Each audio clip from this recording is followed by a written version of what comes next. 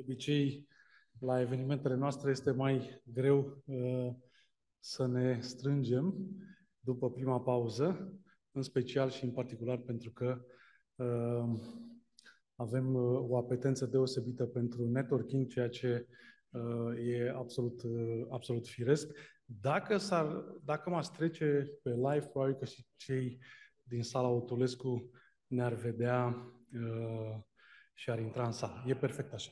Bun, uh, începem uh, sesiunea numărul 2, uh, o sesiune pe care, care este dedicată cyber security. Am spus-o și cu alte ocazii și, după cum observați, probabil că în ultimii 5-6 ani, 5-6 ediții, securitatea cibernetică a fost pe agenda departamentelor IT, pe agenda directorilor IT. Este un subiect de maximă importanță Uh, un subiect pe care uh, companiile îl abordează, uh, n-aș spune din ce în ce mai serios, ci foarte serios. Uh, vorbeam, cred, nu știu, acum 2-3 ani, uh, Forumul Economic Mondial poziționa cyber security, dacă nu mă înșel, pe prima sau a doua poziție ca și preocupare. Uh, există foarte multă activitate în zona cyber security din partea tuturor uh, inclusiv a legiuitorilor. Probabil că mulți dintre noastre sunteți în temă. Avem uh, uh, directiva NIS 2 reactivată, să spunem așa, sau re, recreionată. Uh, o directivă care adus, aduce multă claritate, spun eu, și reglementare până la urmă în acest domeniu uh, cibernetic, un domeniu care, uh, mă rog, directivă care își propune până la urmă să ridice nivelul de cyber security în cadrul companiilor și mai ales chiar la nivel de uh, regiune geografică, Europa, uh, state și așa mai departe. Bun, uh, cine putea să deschidă uh, mai bine sesiunea de cyber security uh, decât nimeni altul, decât prietenul asociației, până la urmă, domnul Dan Câmpean, uh, director în cadrul directorului, Directoratului Național uh, pentru Securitate Cibernetică. Dan,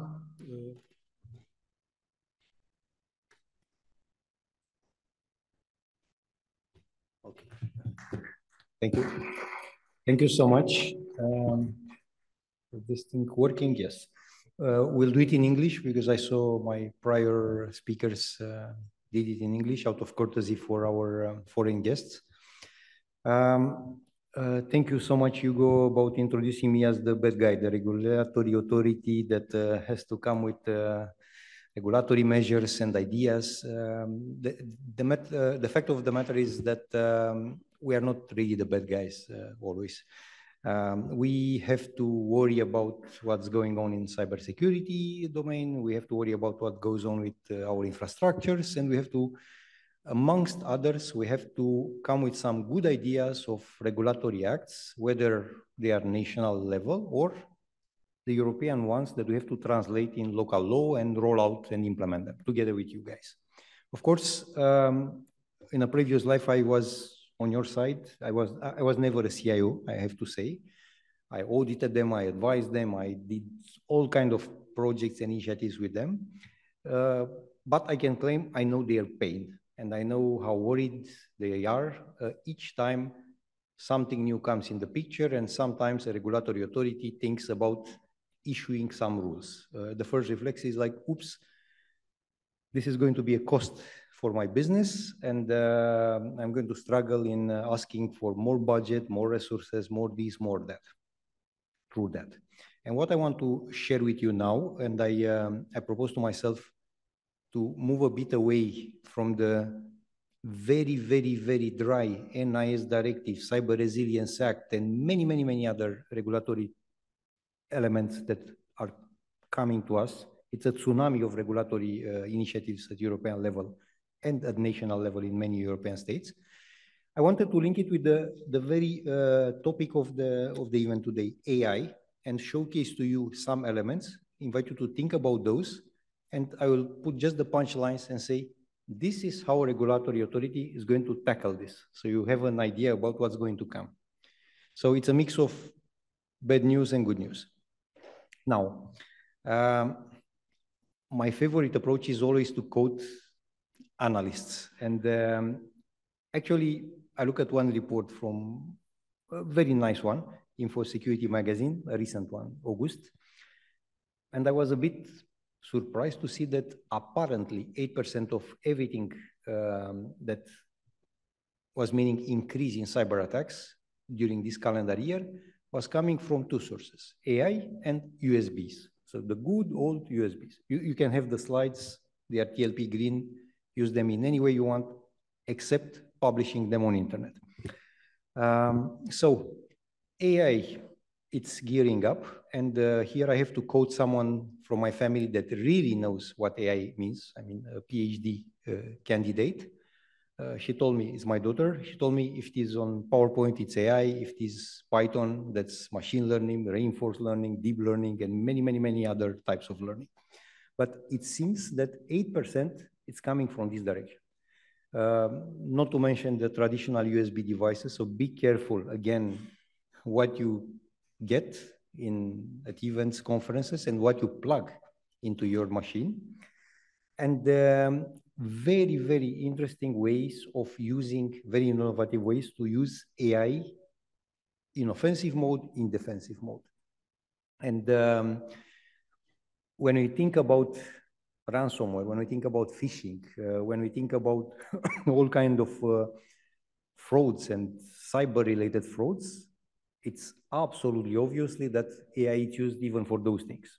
So um, it's coming, it's there. Of course, as a regulatory authority, the first question I get from public and from everywhere is like, hey guys, what are you doing about this?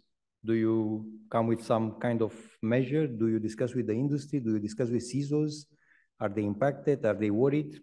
Answer is yes, we plan to do something, but it's very, very complicated. Now, uh, that's a, a, favorite slide I have, and I will keep it only for 30 seconds uh, on, on, the, on the screen. Attacks and vectors for attack, they are going in all directions. But what is very, very interesting, and you see it from this slide that I particularly like, they go up and down. They are periodical, and periodical by industry, periodically by type of attack, and each of those lines actually means hundreds of CISOs interviewed. And it seems when someone has a problem with the type of attack, whether it's, let's say, AI driven or human driven or driven by one technology, by one technique or another, everyone pretty much in the same industry or nationwide or European wide has the same kind of problem, pretty much at the same moment. So my key takeaway from here is like, watch the trends look here, if it is going up the way it is with denial of service now, it's going to go up. It's like the weather, the weather prediction. The next few days will be cloudy and it's going to rain. So the message to you as CISOs, be careful about what goes on, look at the statistics and don't look always and only at your own data. Yeah, Look also at what analysts say, regulatory uh, organizations say, security service providers say. Now, um, and here I come with the regulatory elements. When we look uh, at AI, fundamentally what we care about from a regulatory perspective, what is on the screen. So first, AI is not used for malicious purpose. And second, uh, we make use of AI to improve cybersecurity. It's as simple as that. Maybe it's way too simplistic, but these are the two major elements any regulatory authority I was discussing with, uh, whether in Europe or outside Europe, this is the way they want to tackle it. Of course, uh, and here is the bad news for my organization, we are not experts in AI. Uh, I don't have like 10 people specialized in machine learning and uh, people that knew how to build an engine and how to train it and uh, how to deal with it. Uh, and I guess pretty much, with few exceptions, like we saw the case of Carrefour a bit earlier, maybe most of you, you don't have either specialized teams in AIs that can answer to you regarding these two points. How we can make sure that uh, we don't get hit by an AI-driven attack, or um, how we can make sure that if we are using AI for our own organization, this is not going to get compromised, misused, attacked in any way, form, and shape. Uh, and as a regulatory authority, I have to come with some good ideas and impress you all guys, in Romania at least, and say, we had a brilliant idea to issue some rules. I, I have no idea whether it's going to be a law, a government decision, or an order from the directorate to kind of frame this and put rules in place. For the moment, at this moment, despite the um, multiple discussions that happen at European level, whether it's NIS, uh, cyber resilience framework, AI, regulatory uh, ideas, the truth is that at this moment it's Wild West. So it's, there are no particular enforceable rules from cyber regulatory authorities in most of the countries. And no one was able to get it right yet because simply it's very, very complicated, but we have solutions. So as I said, um, we look from a dual perspective. AI as an attacker tool, that, that's what worries me a lot, uh, that uh, obviously, and we see it, phishing mails, they are getting better and better because they write them by ChatGPT or others. So uh, no more mistakes, uh, they look like written by humans, uh, they look credible. Uh, and they find better and better ways to bypass your security mechanism and our security mechanism. So our good old traditional security frameworks, everything from ISO 27001 to ISMS and many others, they model it and they use AI in order to find ways to bypass everything from your policies to technical measures. So think about it. And of course, uh, and this makes it even more complicated, AI as a target itself. So as I said, I'm, I'm a complete dummy in AI. I have no clue. I'm, I'm a user of it. Um, someone else at home showed me that I know 0.01% of what AI is, and she knows the rest of 99.999. Um, so in order to exploit, and that's good news actually, in order to exploit an AI tool for malicious purposes, first of all, you get to know what that solution is about, what the software is about, how it's working what are its own vulnerabilities, how to uh, exploit them, etc., etc. So that's still good news, but they are learning very, very, very fast. Now, um, a bit about um, what we see, um, and I wanted to share this with you in particular. Uh, just a few thoughts, of course, spam, uh, etc., all kind of attacks, uh, phishing, probe attacks, the DDoS, uh, unauthorized access of any way, form, and shape. Uh, they are trying and successfully using AI in this. It's also used very, very successful, in particular by defenders on spam detection, intrusion detection, malware detection. So anomalies in the network, anomalies in traffic, um, pretty much okay. But what is very, very interesting we tend, as IT people, as security people, we are not data scientists, we are not AI experts, we tend to forget that AI techniques basically systematically fail to detect everything that is new, whether it's new type of attack, if we want to defend, or if it is, let's say, new configuration, new behavior of uh, my infrastructure or stuff like that. So let's not forget about this. It has limitations. AI itself is not the magic solution for everything, whether you are in defense or in offensive. Now, I come to the good news, and I link those directly to the regulatory measures. So the good old security by design, it's working. AI, bottom line, it's another IT system. Let's call it like that. So we believe, and I guess most of the regulatory authorities will push in this direction. So we'll really enforce that secure coding practices and software development, the good old software development, it's enforceable for um, AI. Testing, testing, testing, testing again, like for any other software you, you put in your own infrastructure, uh, you know, very strong design and well-documented design, uh, audit trails, logs, and all the good stuff. And of course, risk assessment and thinking about what are the threats and modeling and modeling and modeling. So actually, fundamentally, many professionals from regulatory authorities I discuss with, they have the same view. It's another software and we need to enforce good practices for software development, software testing, uh, risk assessment, and so on. Of course, it's a new category of software, so very complicated. We have to understand it a bit better. And in all honesty, we collectively, we not always succeed in doing all those elements for traditional software. Now we have to apply just to another class, more sophisticated, more complex. But it seems good old security by design may work. So I hope if you get a question in your own organization from the C level or from your colleagues, say, let's do this and at least we'll cover part of our problems. Now, um, just few thoughts about attacks on AI systems themselves. So I thought, how can someone attack an AI uh, system? Uh, intuitively, uh, of course, you do denial of service on the portal on ChatGPT. Could be a kind of attack, or on the app um, that you use uh, in your own organization. What we see the most dangerous ones are actually these that I mentioned uh, on the screen. So in the very first place, exploiting and building vulnerabilities in open source software.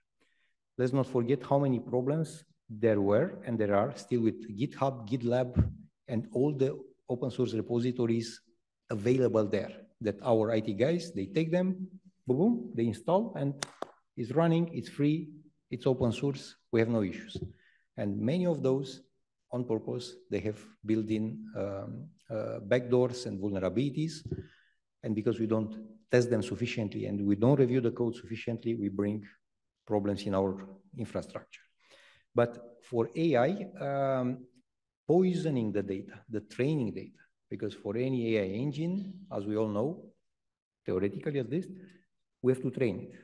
Apparently, there are many, many sophisticated ways uh, designed to poison and to fake the training data in such a way that really the AI engine follows certain patterns, certain predictions. Imagine uh, that you poison the training data, so your AI engine does not detect any more attacks or malware. Or uh, it's um, pointing you and your security team to a different kind of attack, slightly different flavor, slightly different uh, version of the attack that you want to detect.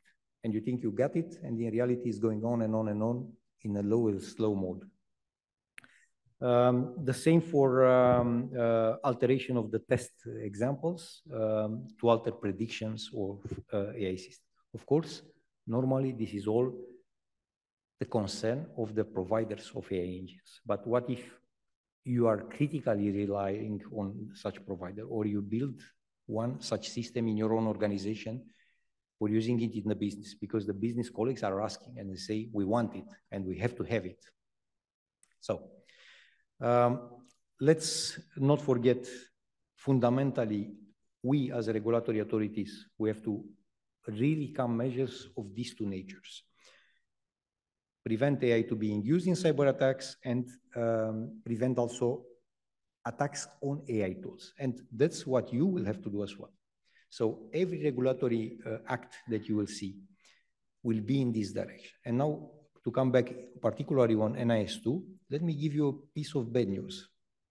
Um, we are seriously thinking, first of all, in Romania to get an all-inclusive approach. So basically we want all the sectors, all the uh, economic sectors that are listed there to be included in the scope of NIS2 directive translated in Romanian law, and we have deadline, I guess it's precisely in one year from now, 24th of October, so we have 364 days to go.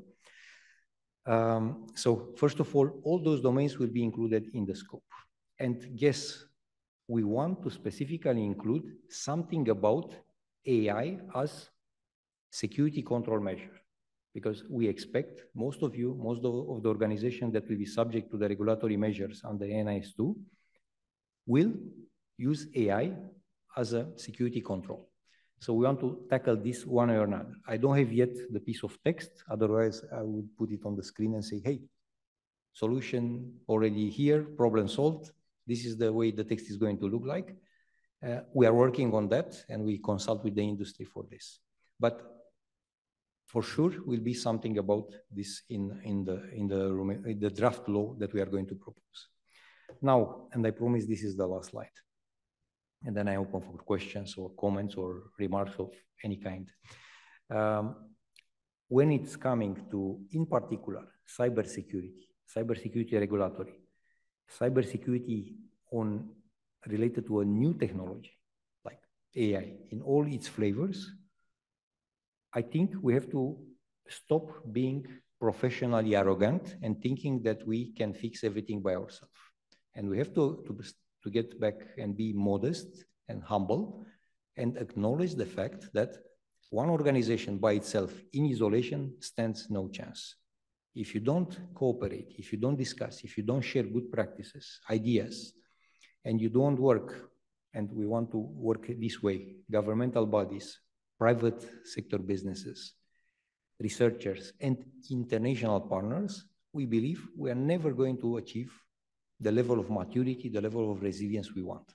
So the paradigm is that, in particular, concerning AI and security um, uh, topic, we have to work this way, whether it is regulatory aspect, whether it is good practice, uh, good practices in general, whether it is, let's say, technical or non-technical, specific, very narrow, very focused uh, security measures that we want to put in place. And uh, it's still long way to go. Um, personally, I don't believe AI is just another buzzword like cloud. Uh, we all know cloud. 20 years ago, cloud was just a data center and then marketing people came in and they package it and they sold it differently.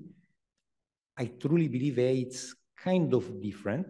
I think it's more powerful than we believe, and we are going very soon to be more dependent on it than we think.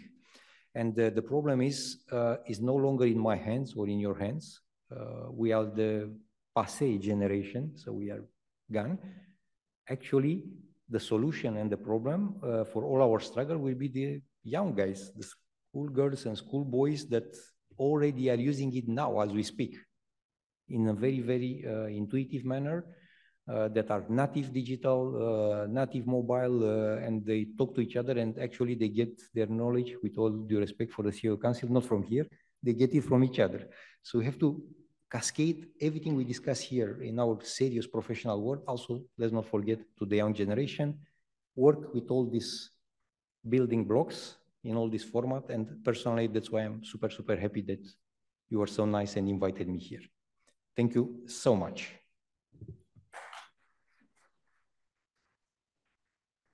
Thank you very much, Dan. Any question from the audience? Uh, I know you're in a hurry, but um, my flavor, my understanding is the following. So we can use AI uh, to attack a company or a system or to defend ourselves, right?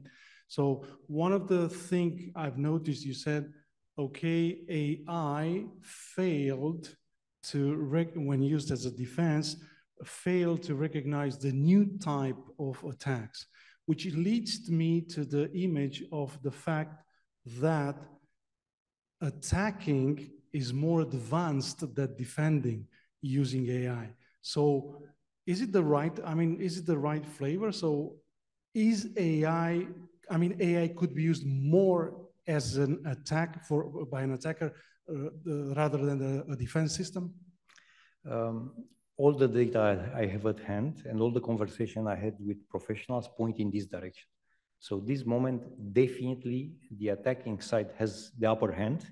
So they are more advanced, more innovative in uh, writing scripts with the use of AI, in uh, identifying vulnerabilities. And let me give just basic, basic examples.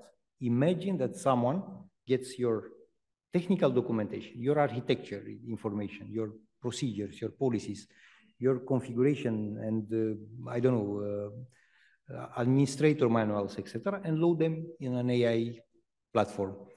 Of course, we'll know basically what everything your defenders know. So it will be much easier from an attacker to do it, rather than the opposite, to have an unknown attacker with a very new, weird, uh, innovative way of uh, exploiting vulnerabilities and trying to find a solution to that attack. Uh, and it's a real concern. Uh, there were many, many, many cases, and be careful about this, about data loss prevention countermeasures, and have them in place. be careful with the info you have from your own organization. Technical information in particular, uh, security checklist, uh, standard operating procedures, manuals, everything. Because if that info, although it's basic and standard, gets loaded in one of those engines and start being, let's say, used in malicious way, you have a big target, a bit, a bit bullseye, a big bullseye mark on you and your own organization and will not be able yet, I, I hope in few years will be the opposite, will not be able yet to get all of us together to find better and faster ways and practical ways to use AI in order to counterattack.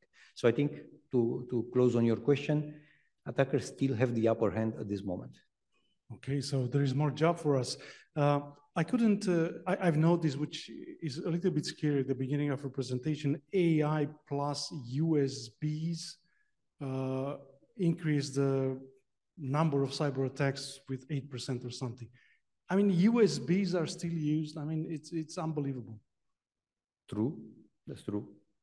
Okay. But... It's, it's a very simple technical. Either you fix it by policy, don't plug USBs in devices, or you deactivate the ports or you put a solution that says you can write or read on encrypted USBs or whatever. We tend to forget. But paradoxically, and I, that's why I wanted to, to start with that, amazingly still used. Same old, same old. All right, thank you very much, Dan. Dan domnul Dan uh, Directoratul Național pentru Securitate Cibernetică, totuși de 20 de ani vorbim de USB-uri și dacă suntem în același loc, înseamnă că nu suntem chiar în locul potrivit, dar asta este o realitate și trebuie să ținem cont de ea. Ce reține este că uh, inteligența artificială poate fi utilizată aparent ceva mai bine decât de bad guys. Avem o sesiune, uh, uh, urmează o sesiune uh, oferită de către doi experți ai uh, Deloitte România și invit alături de mine pe Andrei Paraschiv și pe Sergiu Zaharia, Uh, care vor vorbi atât despre trenduri și tehnologie, ok, cât și despre cyber security. Andrei?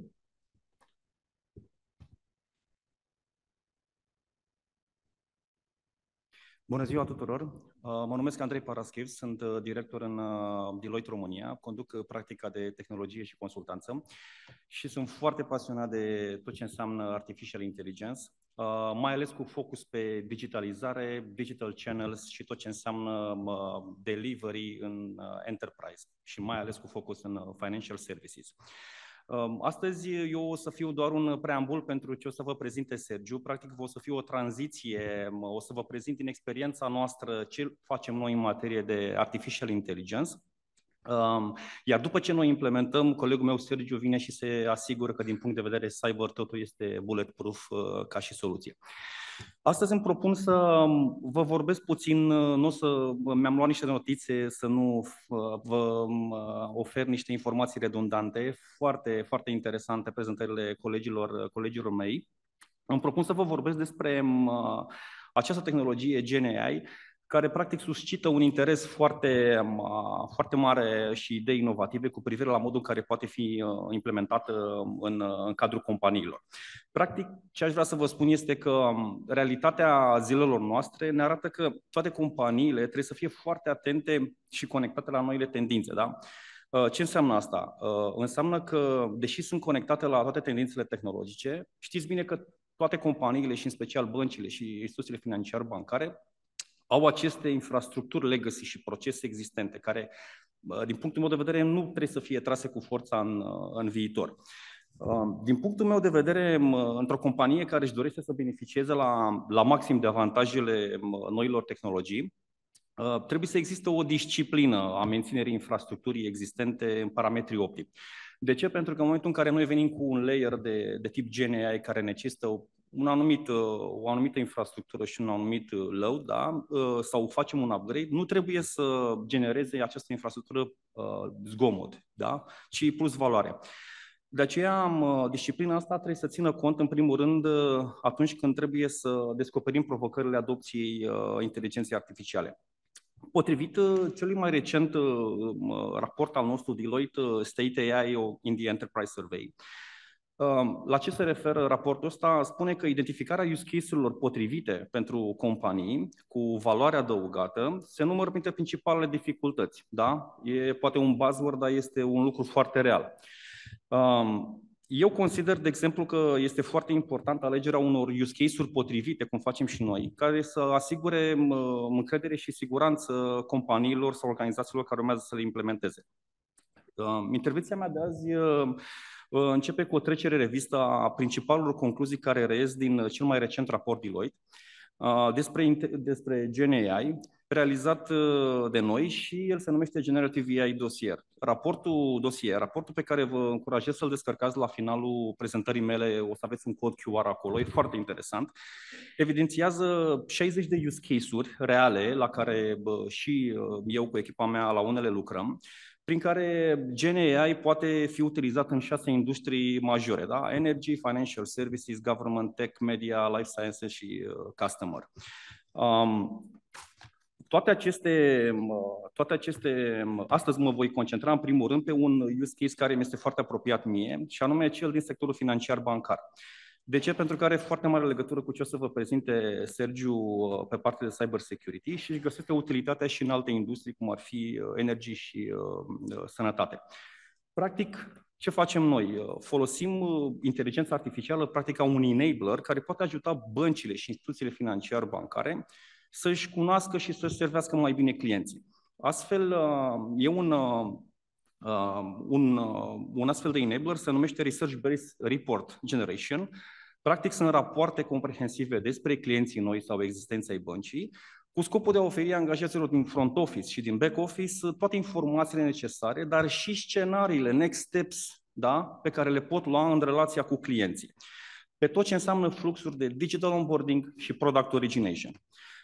Care e utilitatea, o să mă întrebați? Da, utilitatea folosită a acestui tip de tehnologie, practic, e susținut de date. Da? Uh, Deloitte, după cum știți, se ocupă foarte mult și de partea asta de predicții și trends, da? în afară de trends. Uh, conform unei uh, predicții realizate în 2023, primele 14 bănci de investiții la nivel global își vor crește productivitatea în front office, atenție, cu până la 35% prin GenAI. Uh, acest procent se traduce pentru un venit la nivel global de 3,5 milioane de dolari per uh, angajat până în 2026. Da?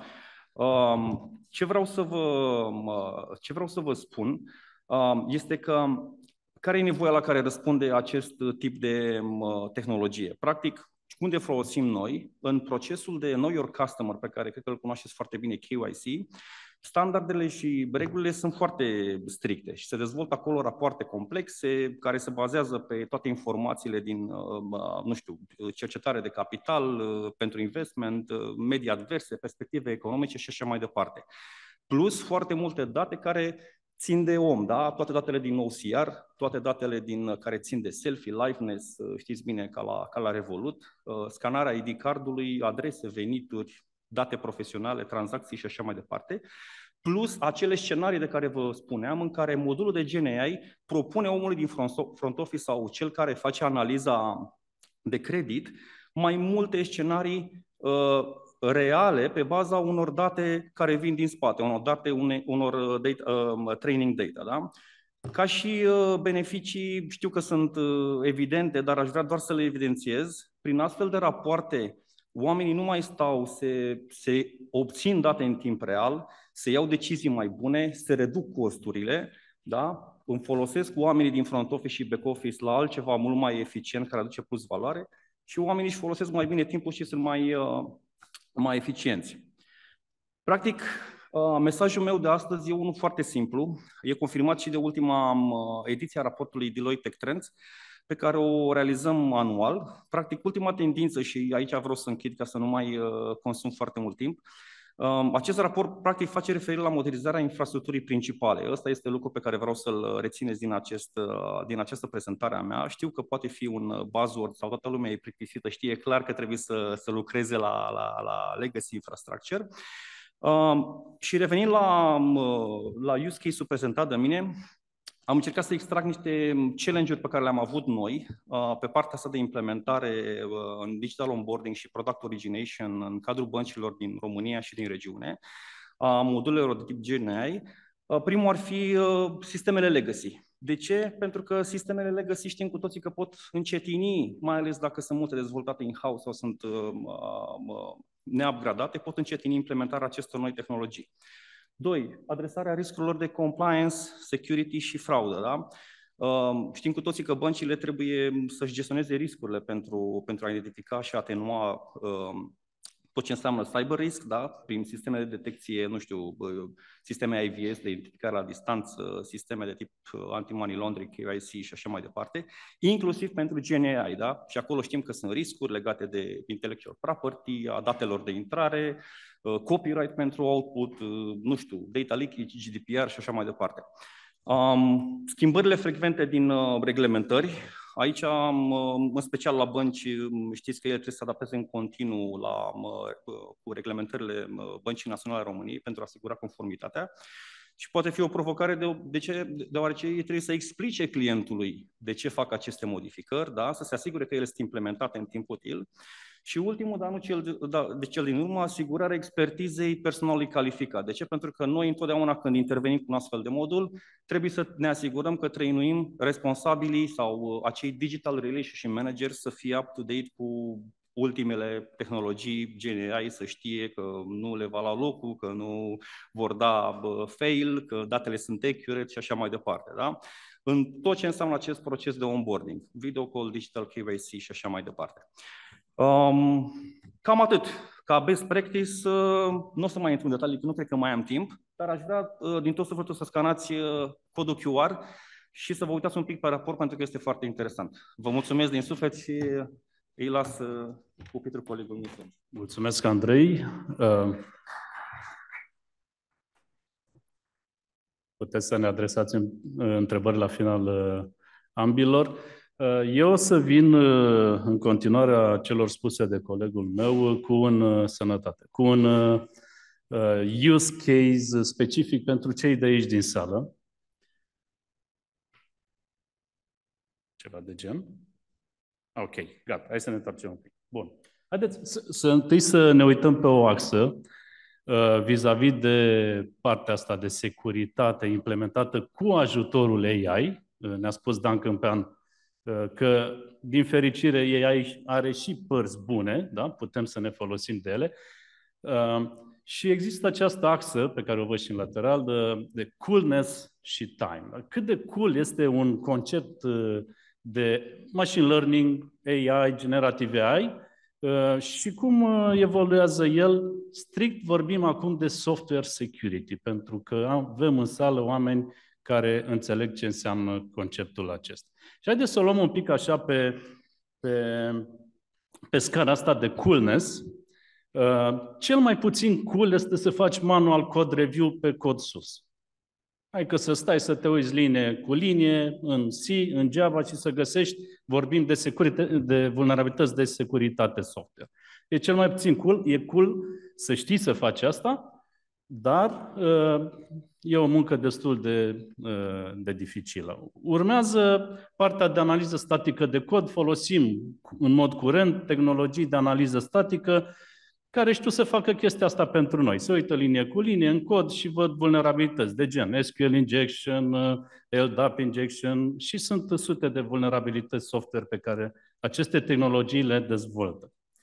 Uh, partea de analiză de malware în codul sursă e cool, din ce în ce mai cool. Există tehnologii care fac asta, nu o să insist. Uh, evident, au tot uh, algoritmi de machine learning la bază. Ei, ce se întâmplă? Devine din ce în ce mai cool în ultima decadă partea de machine learning-based code review. De ce? Pentru că tehnologiile actuale de analiză statică de cod acoperă undeva la 30 de limbaje de programare maxim cele mai populare, evident. Sunt 1800 active, unele, evident, nu foarte populare, uh, care rămân descoperite din punct de vedere security. Și atunci este o tendință complementară tehnologiilor de tip SAST, uh, bazată pe algoritmi de machine learning, care ce fac? Iau, se uită în cod, îl tokenizează, uh, pun instrucțiunile una lângă alta, fac analiză, inclusiv sentiment analysis, am văzut în niște cercetări academice, astfel încât să identifice vulnerabilitățile ca și ar, când ar fi niște pattern cum sunt sentimentele într-un roman. Și lucrul ăsta evoluează și a fost din ce în ce mai cool în, ultima, în ultimii 10 ani de când urmăresc eu cel puțin partea asta. Uh, și din ce în ce mai cool că vorbim uh, de gen AI uh, astăzi, odată cu apariția aceea GPT, care a fost așa un trigger mediatic, să spunem, deși el nu e nou, am văzut din ce în ce mai multe soluții care analizează cod cu ajutorul acestor pre-trained model, pe, nu numai pe cod sursă, dar pe natural language în general, Uh, și care devin din ce în ce mai cool astăzi. Ultimele paper-uri academice uh, vorbesc uh, în special de chestiile astea. Bun, haideți să vedem în continuare ce se întâmplă cu chestia asta de a fi cool, așa. Devine din ce în ce mai puțin cool partea asta. Partea de analiză de cod, de, de identificare vulnerabilități utilizând large language models, pentru că toată lumea vorbește despre asta și deja sunt modele care fac uh, analiza uh, de cod. Nu numai că o fac pentru codul sursă generat de oameni, dar încep să facă și pentru codul sursă generat de modele bazate pe AI. Uh, apoi devine, o să devină din ce în ce mai puțin cool, deocamdată este incipient și este pe trend, partea de trainer de, sec- de secure coding. Există modele astăzi care îți spun, și am văzut unul chiar astăzi, care spun cum să, cum să scrii cod în mod sigur, pe diverse limbaje de programare mai populare, evident, uh, bazat tot pe generative AI.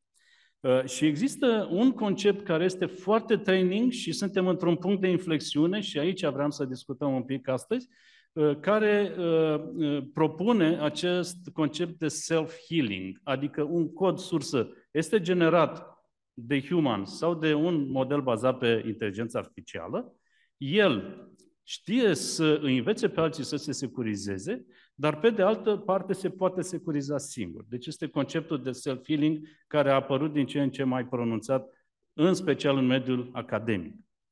Ehm, o să fac o scurtă, am încă două slide-uri. O să fac încă o incursiune într-o chestie care nu se vede foarte în detaliu, dar o să vă explic eu de ce nu se vede. Pentru că este o sinteză foarte strânsă, foarte condensată, să spunem că asta e sinteză, a acestui a state of the art în domeniul detecției vulnerabilităților software, cum sunt CWE sau CV, adică Common Weaknesses nenumerat și vulnerabilități tehnice sau CV-uri vulnerabilități publice în codul sursă. Ce, se, ce s-a întâmplat în ultimii 10 ani pe acest domeniu? Am plecat de la uh, Chucky, e primul în listă sus, nu e o păpușă, este un concept, un model bazat pe machine learning uh, uh, creat de o, o echipă de cercetare din Germania, care ce făcea? Uh, identifica vulnerabilități uh, tehnice în uh, software, în limbajul C. Era desemnat pentru limbajul C și detecta vulnerabilități acolo. În timp, lucrurile au evoluat și în ultimii ani vedem că nu numai că detectezi vulnerabilități într-un limbaj de programare tehnice, uh, poți să detectezi vulnerabilități în mai multe limbaje de programare utilizând aceeași tehnologie uh, și sunt uh, din ce în ce mai multe paper-uri în ultimii ani, iar în ceea ce privește generative AI, avem, începând de prin 2022, o serie de modele care știu acum, sunt proof of concepts deja, care știu acum să interpreteze cod, să ne învețe să securizăm în mod secure uh, și să scrie cod secure. De exemplu, chiar ChatGPT, că e la modă, deși nu e singurul model, uh, poate să creeze, a fost uh, solicitat practic să creeze cod, este un paper în sensul ăsta, să creeze cod, i s-a spus ok, l-ai creat într-un mod insecure, ai putea să-l faci secure și el l-a luat și l-a făcut secure. Nu pe tot, dar peste 50% din codul creat de ChatGPT, atenție, utilizând natural language, da? deci nu cod sursă pentru instruire sau preinstruire, a fost făcut uh, în mod secure.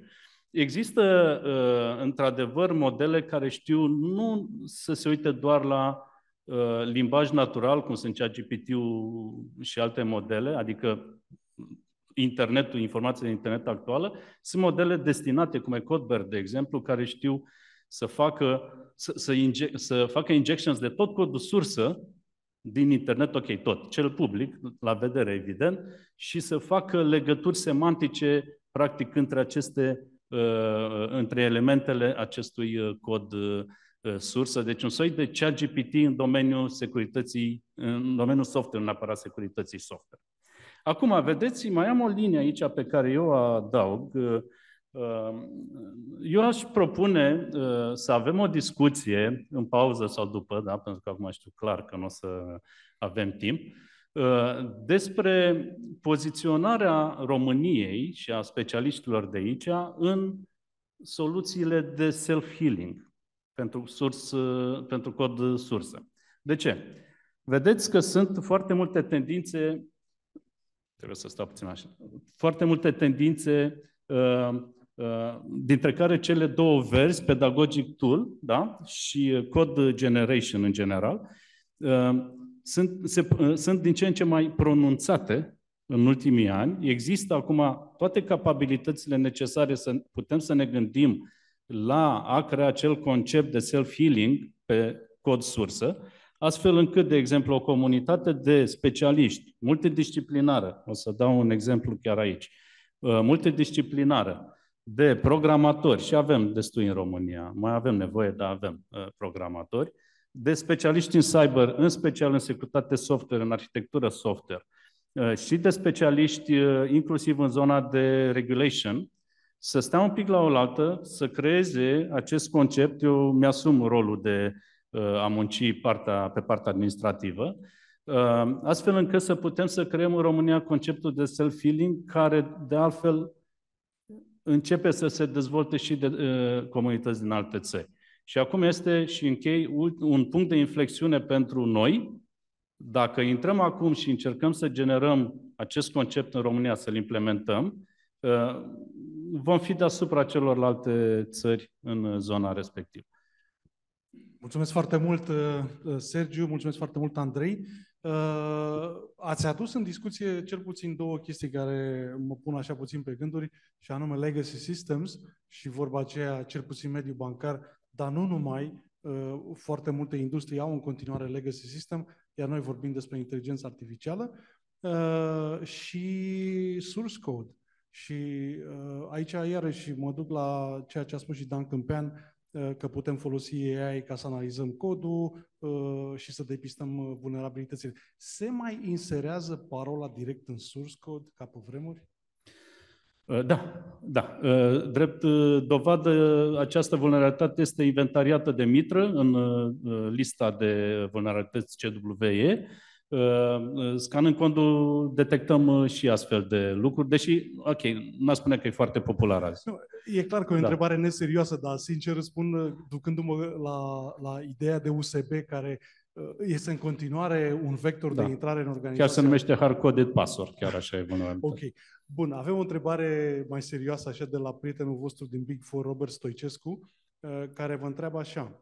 Care sunt costurile implementării enablerului AI al Deloitte în contextul procesării automate și al dreptului de opoziție la aceasta, la această procesare a persoanelor vizate.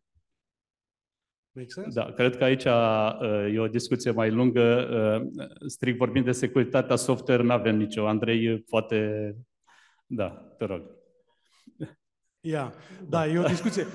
Eu am văzut o challenge, dar Știu, da, da, am da. vrut să o ridic pentru că nu, e bună, e bună. Da, da, ne așteptam. Big uh, Forum 3.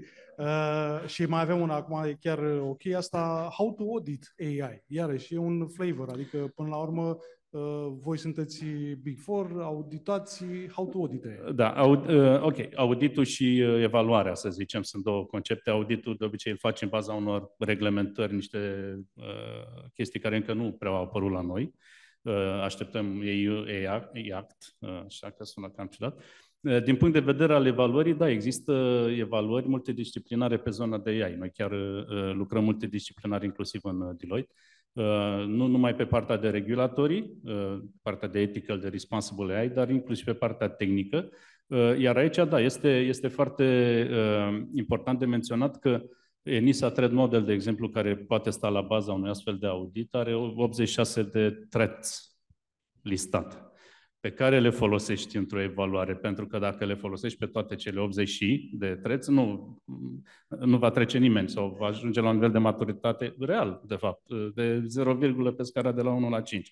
Și atunci, uh, și închei imediat uh, răspunsul, uh, trebuie să faci o selecție la celor vulnerabilități care sunt, din fericire, prinse chiar în AI Act, data poisoning, Uh, data protection în sfârșit pe partea de, uh, de privacy, uh, partea de protecție la uh, uh, adversarial attacks. Deci trebuie să selectezi undeva la 10-20 de, de puncte de assessment, nu 86 cum propune NISA. Uh, încă este incipient inclusiv domeniul ăsta de assessment pe AI. Mie mi se pare challenging self-healing-ul dar cât mai e distanța de la self-healing la self-programming și cum ne asigurăm că self-programming-ul ăla să fie cu intenții bune? Uh, self-programming a apărut uh, ca și concept, uh, uh, și chiar vorbeam ieri despre asta, uh, la MIT, de fapt și înainte, dar primul paper pe care eu îl cunosc uh, de Programmer's Apprentice, scris de uh, cercetători MIT, uh, de Artificial Intelligence Lab de la MIT, de fapt, în 86 s-a încercat, atunci, practic, uh, self-programming însemna că uh, un om da, poate să dea uh, niște comenzi care nu sunt în cod sursă, da, statement, statementuri și soluția poate să genereze cod. Atunci erau, de exemplu, în paperul lor, cinci statementuri, propoziții normale, de pildă, creează un driver de imprimantă care să facă nu știu ce, Uh, și uh, uh, soluția genera în limbaj ADA și Lisp, așa era atunci, 55 de linii de cod din 5. Deci cumva conceptul era incipient și s-a povestit atunci că încă nu funcționează. În, în, începând de acum 3-4 ani, există deja generare de cod, cel puțin în mediul academic, ca și proof of concept, deci există conceptul. Nu este perfect, Așa este, uh, dar uh, din punct de vedere cyber uh, e bine că există conceptul de securizare cod în mod automat. Adică dacă tu ai deja un cod generat de un human, da? un programator, există acum, spuneam, un punct de inflexiune în cercetarea asta academică în care poți să, scuze, poți să securizezi codul utilizând modele Uh, bazate în general pe transformer, pe large language, large language models, dar nu numai. Adică și pe algoritm tradițional, chiar uh, uh, și cross-language sau zero-shot, adică uh, aici în lista mea, dacă mai am acces înapoi, dar nu știu dacă mai am, uh, era un model uh, care este chiar uh, zero-shot classifier, adică înveți, în, C, înveți uh, în Java să securizezi un cod uh, și poți să identifici în C-Sharp da? de Zero Shot Classifier, sau Cross Language, iar Large Language Model sau Codeburn, modele specializate care uh, aduc foarte mult cod sursă din internet, practic, și fac analiză semantică și așa mai departe, aceste uh, soluții uh, știu deja să facă analiză cross-language. De, de issue și aici e nevoie de o comunitate și promit să, să mă opresc, uh, este că uh, și aceste modele existente în mediul academic și în mediul privat, ce am văzut astăzi, unul, uh, folosesc cam aceleași limbaje de programare. C, Java, Python, cele populare, cele care sunt normal utilizate și de mediul de business. Uh, și noi avem nevoie pentru a crea un scanner software ca o comunitate de cod real în mai multe limbaje de programare, unde nu avem volum pe internet foarte mare și trebuie să ne gândim și cum le etichetăm un pic, vulnerabil, nevulnerabil. Este un efort de 2-3 ani. Mulțumesc foarte mult, uh, Sergiu. Uh, a fost așadar Sergiu Zaharia, Cyber Security, uh, Cyber Strategy Advisor, direct, director în cadrul Deloitte România și uh, Andrei Paraschiv, uh, trebuie să-mi ochelari, director în cadrul Consulting Practice uh, în cadrul Deloitte România. Bun, uh, continuăm cu Cyber Security, urmează o sesiune uh, venită de la... uh, Avem un Cognitive AI, The Future of Cybersecurity și l-avem alături de noi pe Alexandru Rușandu, foarte bine cunoscut specialist în cybersecurity, Global Product Director for Cybersecurity Services în cadrul Eviden GDC România, o companie Atos, după cum probabil cunoașteți.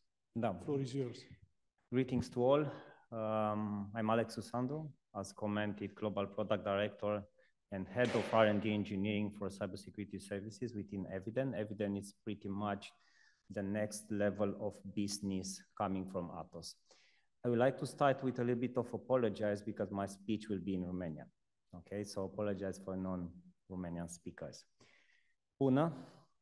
Um, o să încep cu faptul că nu am pregătit niciun speech. Aș vrea să vă spun în timp ce trec prin slide-uri, ce scuze, o mică poveste uh, care între, din, să spun așa, fericire și nefericire este cu totul adevărată. De ce și cum de uh, toată lumea vorbește despre AI, despre diferite tehnici, diferite situații, diferite use case-uri și așa mai departe. Um, în viziunea mea, pentru simplu fapt că în istorie au fost două tipuri majore de a da tehnologia umanității. A o vinde sau o da publică. Și în, după mijlocul secolului XIX, toată lumea vorbea despre, uh, să spun așa, frigide ca și mecanism cum îl știm noi acum, pentru, pentru simplu fapt că după ce a fost inventat, nu a fost vândut ca și tehnologie, ci la un moment dat a fost dat spre public use, tehnologia în sine. Da? Toată lumea, gândiți-vă pe la anul 1854, când a fost primul model comercial de frigider, care era, hai să zic așa, un sfert din această cameră, toată lumea spunea, uite de aici, nu o să avem așa ceva niciodată spre cumpărare în magazine.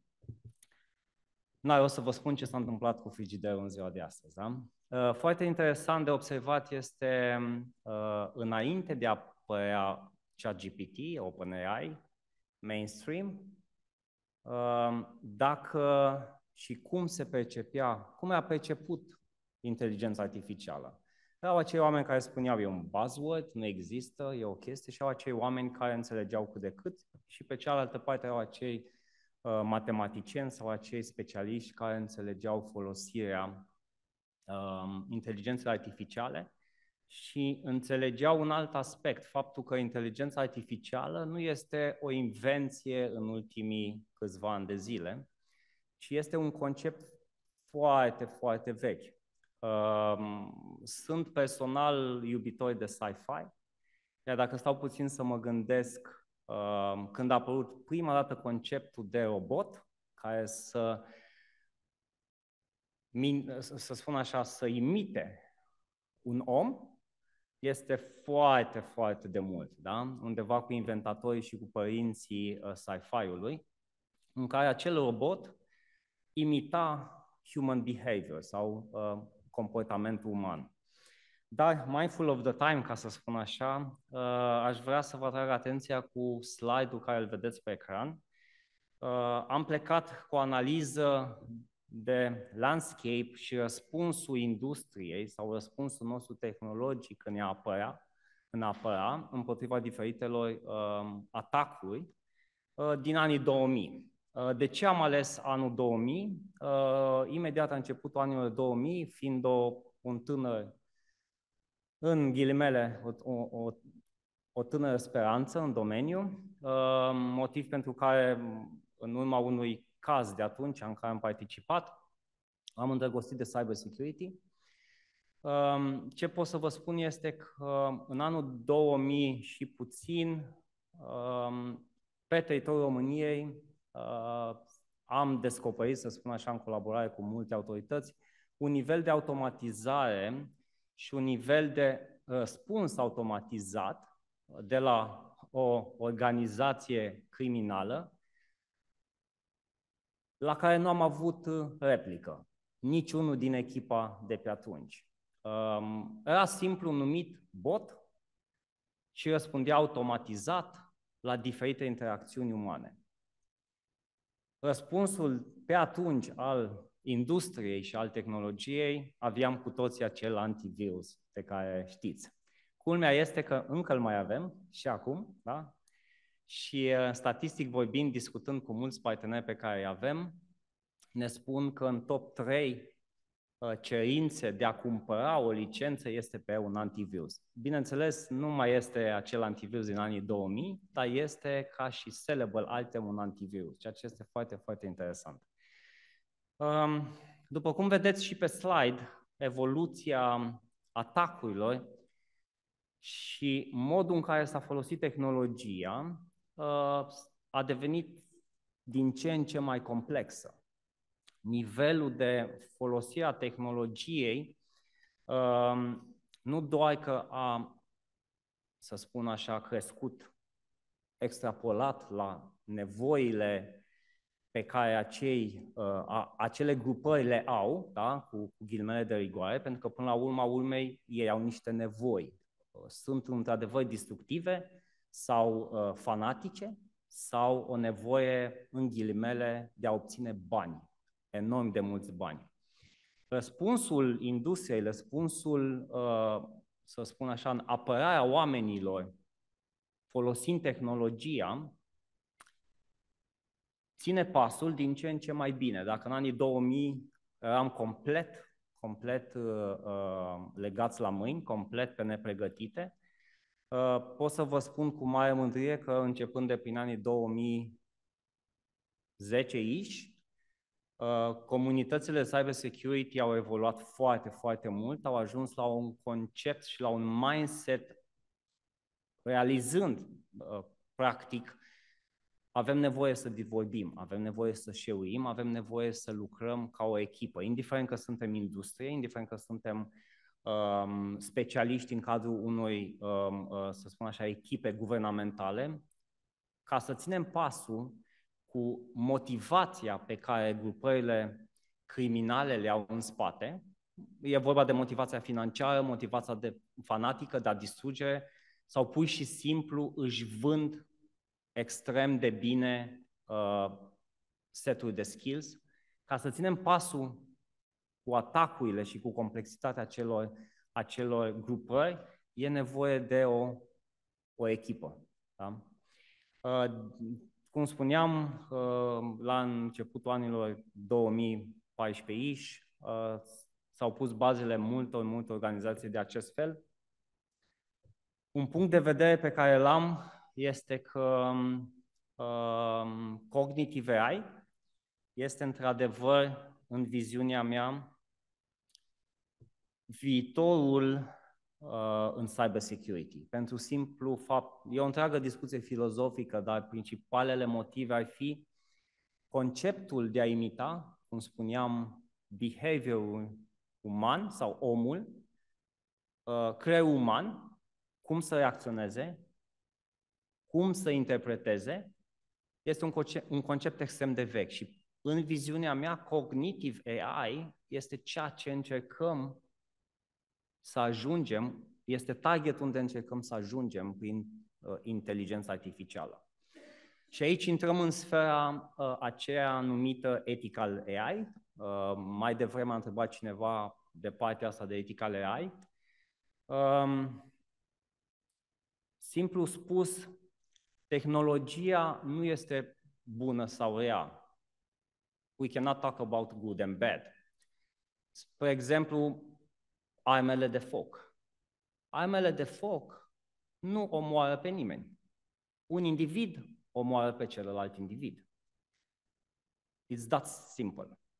Tehnologia, cum este folosită, poate fi dăunătoare, destructivă sau poate salva umanitatea. Eu sunt de principiu că uh, mai repede sau mai târziu tehnologia va salva umanitatea, vrem sau nu vrem, încolo ne îndreptăm. Efectele secundare a, a folosi tehnologia în scopuri negative au fost în istorie și vor continua să fie în, în anumite faze, pentru simplu motiv că există o motivație și drive-ul acele grupări, drive-ul acei, acei oameni. În momentul când se rezolvă încet, încet, din motivație, folosirea tehnologiei în scopul dăunătoare va dispărea. La fel este și cognitive AI. Acum, uh, mă uitam la ceas, eu vorbesc de obicei foarte mult, unde vom folosi uh, cognitive AI, unde o folosim în momentul de față, să spun așa, cu foarte multă mândrie pot să, să recomand uh, diverse, uh, să spun așa, use case-uri care pot să fie folosite. Uh, cu siguranță există soluții. Uh, pot să vă spun că coordonez diferite programe la nivel internațional, unde avem diferite răspunsuri tehnologice pe anumite use case-uri. Dar, ca să uh, subliniez de ce Cognitive AI este viitorul în cybersecurity, gândiți-vă la următorul aspect. Unde putem să o, să o aplicăm? Unde Cognitive AI, dacă am avea un sistem matur în momentul de față, rezolvă probleme reale existențiale. Și întotdeauna sunt acele probleme care ne dor foarte tale, indiferent că suntem în instituții guvernamentale sau în industrie, în funcție de priorități. Sunt probleme, ne, ne dor extrem de mult și sunt, pro, um, să spun așa, dorințe unde vrem să ajungem în nivelul de maturitate pe zona digitală. Da? Și totul se rezumă acolo. Um, cu siguranță, cum spunea colegul meu, uh, Dan, mai devreme, um, partea criminală, the dark side, este ahead of us din cauza acelei motivații din cauza nevoii de a folosi toate tool necesare disponibile pe care umanitatea le-a descoperit ca să ajungă să-și achivuie scopurile. Noi suntem mult mai focusați pe alte priorități decât pe uh, a comunica și a șeui și a încerca să schimbăm acea motivație. Unde aplicăm AI-ul, aș putea să vorbesc Uh, destul de mult. Am pregătit trei slide-uri cu use cases concrete. Gândiți-vă la nivelul de informație care noi suntem expuși în momentul de față. Mă uitam cât stăteam uh, și ascultam pe colegii în precedenți, fiecare dintre noi avem cel puțin telefon sau toți avem un telefon, verificăm un e-mail, verificăm ceva, toți suntem conectați. Mulți dintre noi avem un ceas, poate majoritatea, la fel conectați, nu, nu verificăm telefonul, verificăm ceasul. Și mai sunt și alte, alte, alte device-uri. Chiar mă uitam în zilele trecute peste un anunț, voi apărea și nu vreau să, să, să pun niciun brand aici, um, anumiți ochelari care vor face o grămadă de, um, uh, să spun așa, disponibilitate a folosi tehnologia în diferite scopuri pe care ni le dorim. Practic, noi suntem consumatori de informație, suntem consumatori de tehnologie. Tot ce este conectat, tot ce este digitalizat, chiar și peacemaker. Da? Există peacemaker care sunt conectate la o uh, clinică privată din Elveția. Surpriză, surpriză, există momente când schimbă informații acele peacemaker. Da? Și așa mai departe. Um, Cognitive AI nu va schimba lumea în care trăim în modul că um, cineva va rămâne fără joburi. Nici pe departe acest lucru. 100% vă garantez, nu se va întâmpla acest lucru. Cognitive AI este, în viziunea mea, obiectivul este targetul care ne dorim să ajungem pentru a fi mai buni, pentru a fi mai eficienți pentru a fi mai relaxați, pentru a face lucrurile mult mai repede, mult mai ușor, mult mai precis și a fi mult mai orientați pe viața privată, da? cu familia, cu prietenii și așa mai departe. Practic, ne augmentează. Și aici intrăm pe zona de sci-fi. Uh, vă spun sigur că nu este chiar sci-fi. Uh, există cu siguranță piloți în momentul de față care folosește foarte succesful acea augmentare.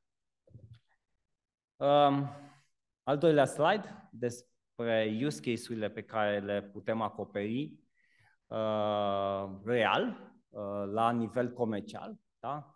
Uh, îmi place foarte mult primul de sus, partea de biometrică, că am, am o, o, o glumă simplă. Cognitive AI știe și va ști mai multe despre fiecare dintre noi ca utilizatori decât știe soția sau mama. Da? Pentru simplu fapt că uh, augmentând anumite behavior pe care le ai, vom ajunge acolo încât te va cunoaște mai bine decât pe tine cu paranteza de rigoare, cum vom folosi acel, acea tehnologie este o problemă majoră a umanității. Uh, și ultimul slide pe use case-uri, le-am folosit pe cele nouă pe care le văd eu cele mai prioritare în momentul de față, în, în final de 2023 și aplicabilitatea și problemele pe care le rezolvă o soluție de cognitive AI. Uh, uitându-mă și la timp, um, am revenit și pe trei industrii, uh, partea de healthcare, uh, unde cu siguranță toată lumea știe de un virtual assistant. Uh, cu siguranță mulți dintre voi, în momentul când uh, vă faceți o programare pentru niște analize, uh, mai mult de jumătate din cazuri este un virtual assistant care vă răspunde la întrebări și la un moment dat îl blocați și um, vă spune să așteptați că vă trimite la un operator. Um, nu este cognitive AI acolo, este AI. Um, metodologia sau tehnicile folosite sau modul, modul în care răspunde acele AI este elementar, aș spune eu, la, la momentul de față, dar este o adopție în masă de tehnologie. Discutam nu de mult în pandemie cu un doctor cu foarte multă experiență. Uh, din una în alta era foarte intrigat de faptul că se discuta la o clinică de renume în România de a face consultație prin teleconferință. Și era foarte intrigat de ideea, păi cum să-l diagnostichez pe un om dacă nu-l văd, dacă nu-l pipăi, dacă nu stau lângă el și îi văd culoarea pielii și îmi spunea câteva minute în șir frustrările lui despre chestia aia. Încercam să explic în momentul când tehnologia va permite ca ai un pachet de uh, asigurare privată sau asigurare de la stat, unde îți va, vei avea un ceas, ca să nu intri, cu mică paranteză, să nu intri în zona de chip, da? Ehm, și cu 5G și așa mai departe, dar vei avea un ceas, vei avea un dispozitiv pe care, înainte de programarea care îl ai, cu 5 minute ți-l pui pe mână, ești pregătit pentru programarea, iar doctorul va primi toate informațiile necesare ca să-ți spună un diagnostic. Mai mult de atât, va avea un assistant uh, augmentat cu un cognitive AI și încercam să explic cât de precis va fi diagnosticul lui, pentru că nu va trebui să vă trimită la analize de sânge, la analize de nu știu ce probe și să vă plimbați sau să vă plimbe părinții pe la trei săptămâni în toate analizele posibile, pentru că le va primi pe toate în câteva secunde. A zis că nu e posibil așa ceva și că el tot uh, va trebui să-l pipăie, să-l consulte și să se uite la om direct. Cu gluma de rigoare și uitându-mă la timp, al doilea mare, uh, a doua mai industrie, să spun așa, sau zonă în care putem aplica de mâine uh, un principiu sau un pilot de cognitive AI este zona de big data. Uh, foarte simplu, în momentul de față, de asta se numește în românește spus big data, pentru că chiar este un uh, un flux de informații de un, de un size atât de mare în care ai nevoie, spunea cineva, de foarte, foarte mult uh, human brain sau oameni ca să analizeze, doar să analizeze acel, acele informații. Vă dau un simplu exemplu. Big data este foarte folosit în aviația civilă, în aviația militară. Când fac testele pentru avioane înainte, să le dea check-ul de compliance, check-ul de toate testele care le fac ei, au un, un size de informații digitale, nu vă imaginați. ce, bu- ce bulk mare, să spunem așa, 10 litri și o găleată de informații sunt acolo. Um, pe zona de IoT, și aici putem discuta, toată lumea știe ce e un IoT, toată lumea are un router acasă, toată lumea are un termostat poate de environment pentru centrala lui, toată lumea sau mai puțini avem un smart home și așa mai departe, sigur toată lumea știe ce e un device IoT. Foarte interesant este că cererea pe piață de device-uri smart este atât de mare încât în țările producătoare nu fac față să, aj- să definească bugetul de securitate. Cele mai ieftine produse venind dintr-o anumită țară, și nu vreau să menționez aici, nu au buget de securitate. Costă 2 dolari, un smart device, vă pot da o grămadă de exemple, în producția lui nu au buget de cybersecurity. Multele, multe dintre ele vin fără niciun fel de securitate embedded. Sunt limitate la ce comunică și așa mai departe, dar la fel, dacă ne uităm în spate undeva prin anul 2017-2018, a fost un, uh, un atac, să spun așa, organizat împotriva Statele Unite. Sursa uh, sau root cause-ul atacului a fost un chip hardware de pe plăcile de bază, pe anumite hardware-uri, uh, ambalate sau uh, uh, produse plăce de bază în China, dar uh, ambalate în servere în Texas, hai să spunem așa. Uh, și într-un final, din cauza presiunii de atunci, au dat, uh, au dat uh, publicității că da, sursa hackingului organizat de National State Attack a fost un chipset care nu știa nimeni ce, cum a ajuns și ce a căutat pe plăcile de bază. Um, să nu mai discutăm de partea de, de, de industrial IoT și de Industry 4.0 sau, dacă mergem în zona de apărare, de military IoT, care este, să spun așa, într-o evoluție agres- agresivă din cauza situațiilor de conflict uh, pe care toți le cunoaștem. Prima dată Rusia și mai, mai, mai curând celălalt din, din estul, din Middle East. Este un accelerator, iar partea de IoT, adopția de tehnologii este peste tot, inclusiv în zona de apărare. Vă mulțumesc foarte mult! Mulțumesc, mulțumesc foarte mult, uh, Alexandru, foarte multe uh, insight-uri. Uh, totuși am rămas un pic... Uh, uh, Le-aș numi viziune, îmi cer scuze, nu insight Viziune. Nu prea, sincer, nu prea am înțeles o chestie aceea, aceea cu dacă dispare motivația, atunci nu mai avem nevoie de tehnologie pentru că vor dispare atacurile, pentru că mie mi se pare că motivația este întotdeauna financiară sau în marea lor majoritate financiară și asta mă pune că gândul că nu vor dispărea niciodată. Da sau nu? Vom vedea. Ideea este că cauza e cauză și efect. Cauza este câștiguri ai spus de partea financiară, câștiguri enorme.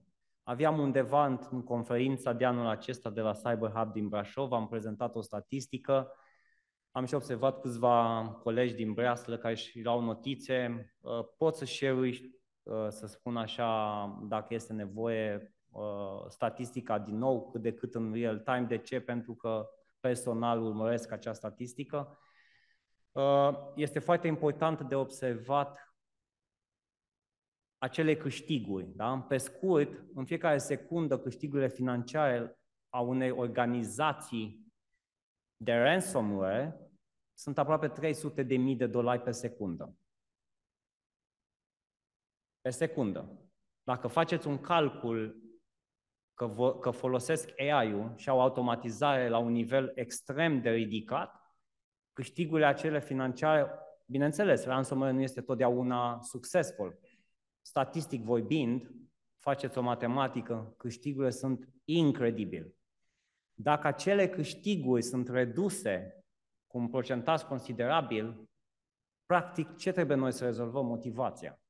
Și da, poate sunt prea, uh, uh, să zic așa, idealist, prea, prea vizionar, da, dacă uh, în, într-un fel rezolvăm motivația de a câștiga bani, pentru că banii învârt lumea, vom rezolva multe Flavorul meu este un pic, ai vorbit de 300 de mii, mi se pare că e mai degrabă o good business opportunity. Adică dacă la 300 de mii de dolari pe secundă obținem uh, uh, în urma unui atac ransomware, poate că nu mi-am ales meseria potrivită. Anyway, foarte pe scurt, uh, vor mai fi atacuri în metavers? Întreabă cineva? Oh, sunt deja și vor mai fi, vor crește exponențial, tocmai prin simplu fapt că Cognitive AI este deja folosit. Și uh, cineva este curios, uh, uh, mai avem nevoie de antivirus? nu o să răspund la această întrebare. Sunt întrebat, această întrebare de în ultimii 17 ani o tot primesc. Mulțumesc foarte mult, Alexandru Rușandu. Global Product Director for Cybersecurity Services în cadrul Evident GDC Romania în Atos Business. Următoarea prezentare, I'm going to switch back in English. Um, it comes from uh, Martin Lonert, Managing Director, Void SOC Cybersecurity Operations Center în cadrul uh, from Soitron Group. Um, with a ransomware attack recovery, a subject which is always actual, in particular in these days in Romania. Uh, Martin, you got the floor. Thank, Thank you. you very much. Let me just to briefly introduce ourselves. Uh, we are Soitron or Soitron Group. Uh, we're an IT company that you probably haven't heard of, uh, but we've been here for quite some time, uh, since about 91. Uh, we serve customers around the European Union, outside, in, in the States, in the UK. actually, we have offices in Turkey. And in Romania, you have maybe met uh, some of our wonderful colleagues uh, from uh, DataNet Systems. Uh, but why my topic might be relevant today uh, is because I'm responsible for our uh, cybersecurity, let's say, division or our SOC, where we provide mostly 24 by 7 cybersecurity services like security monitoring, but um, like a whole catalog of, of other services. We also deal with uh, the AI. We actually do some research in that area. We, we, we deal with uh, industrial companies, uh, automation, and so on. But today, for the next 15 minutes, I would actually like you to, to come with me from the future of AI back to today, to the present. And why is because this is what we are seeing a lot this year major ransomware attacks happening basically across the globe, but also in the region where you guys are present and, and we are also. And uh, we get calls to these unfortunate companies uh, that are sometimes not even our clients, but they get into a situation like this that they're on the front, front page of, of the newspaper. Uh, and they ask for help because they don't have capacity, they don't have expertise, and, and many other aspects. And why we are bringing this to you today is that basically no one who has survived a ransomware attack is very happy to talk about it. What happened? How did they get in? What were some of the steps that were actually taking? So we decided to extract some of this information. And just to give you a perspective, this is what we have dealt with some of the companies only in the last three months. And uh, I'll take an, as an example because I don't want to spend too much time on it. Victime is a company where you, as a CIO, get a phone call at about three o'clock in the morning between Friday and Saturday uh, from your team saying, like, everything is gone. And by everything, I mean everything. The backups are encrypted. If you actually had a very good backup policy that was backing up to the clouds, well, guess what? The cloud is actually erased. They delete the blobs and you lose access to the clouds.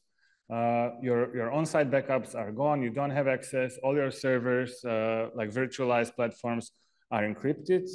The encryption is actually quite fast. It goes through a lot of data very quickly. So before you can recover, everything is gone.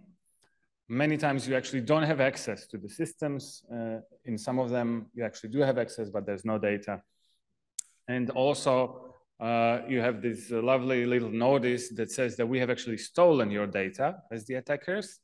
Uh, and it's there's a, there are screenshots. So you, you don't have doubts that, that, that the files uh, are there, that actually have them, uh, because they provide you with a sample. This is a directory structure of your client's um, report or your client's data that we have stolen.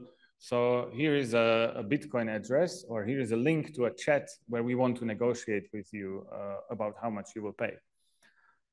Uh, I'll also name uh, victim D for obvious reasons. We're not naming the names or the industries, but this was, for example, a company that was actually uh, having a proof of concept of a technology or, or, a detection solution with one of our competing companies. And during the proof of concept, the systems show them an alarm saying something is not right, but they were not very sure about what's going on they called us and basically wanted to compare our services in a real world scenario with this competition.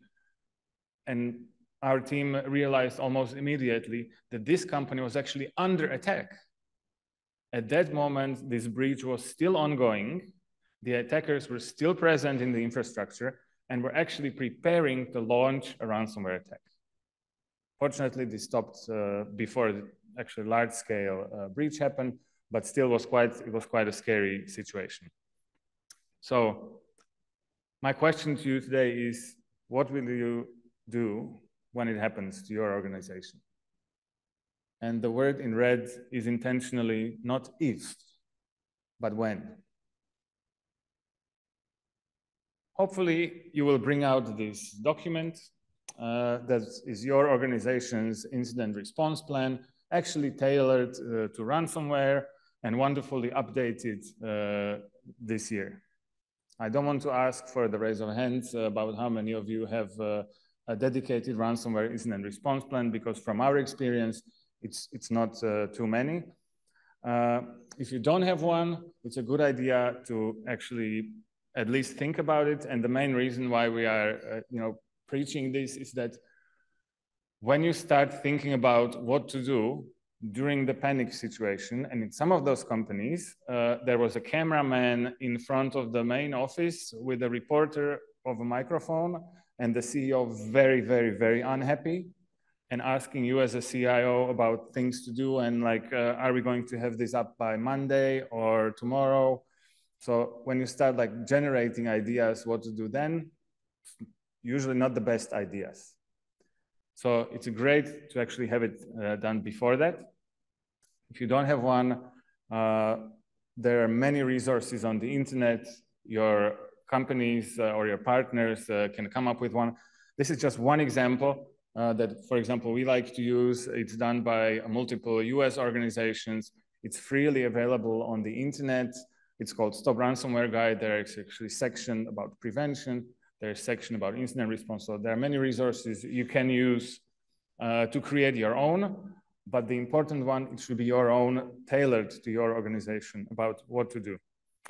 And also a disclaimer, my presentation is not a training about a comprehensive number of steps that you will need to do during the ransomware attack, uh, because we have like 15 minutes, so that's not possible to do. But these are just some highlights that we are seeing happening across the, the companies that very likely you will have to go through when it happens.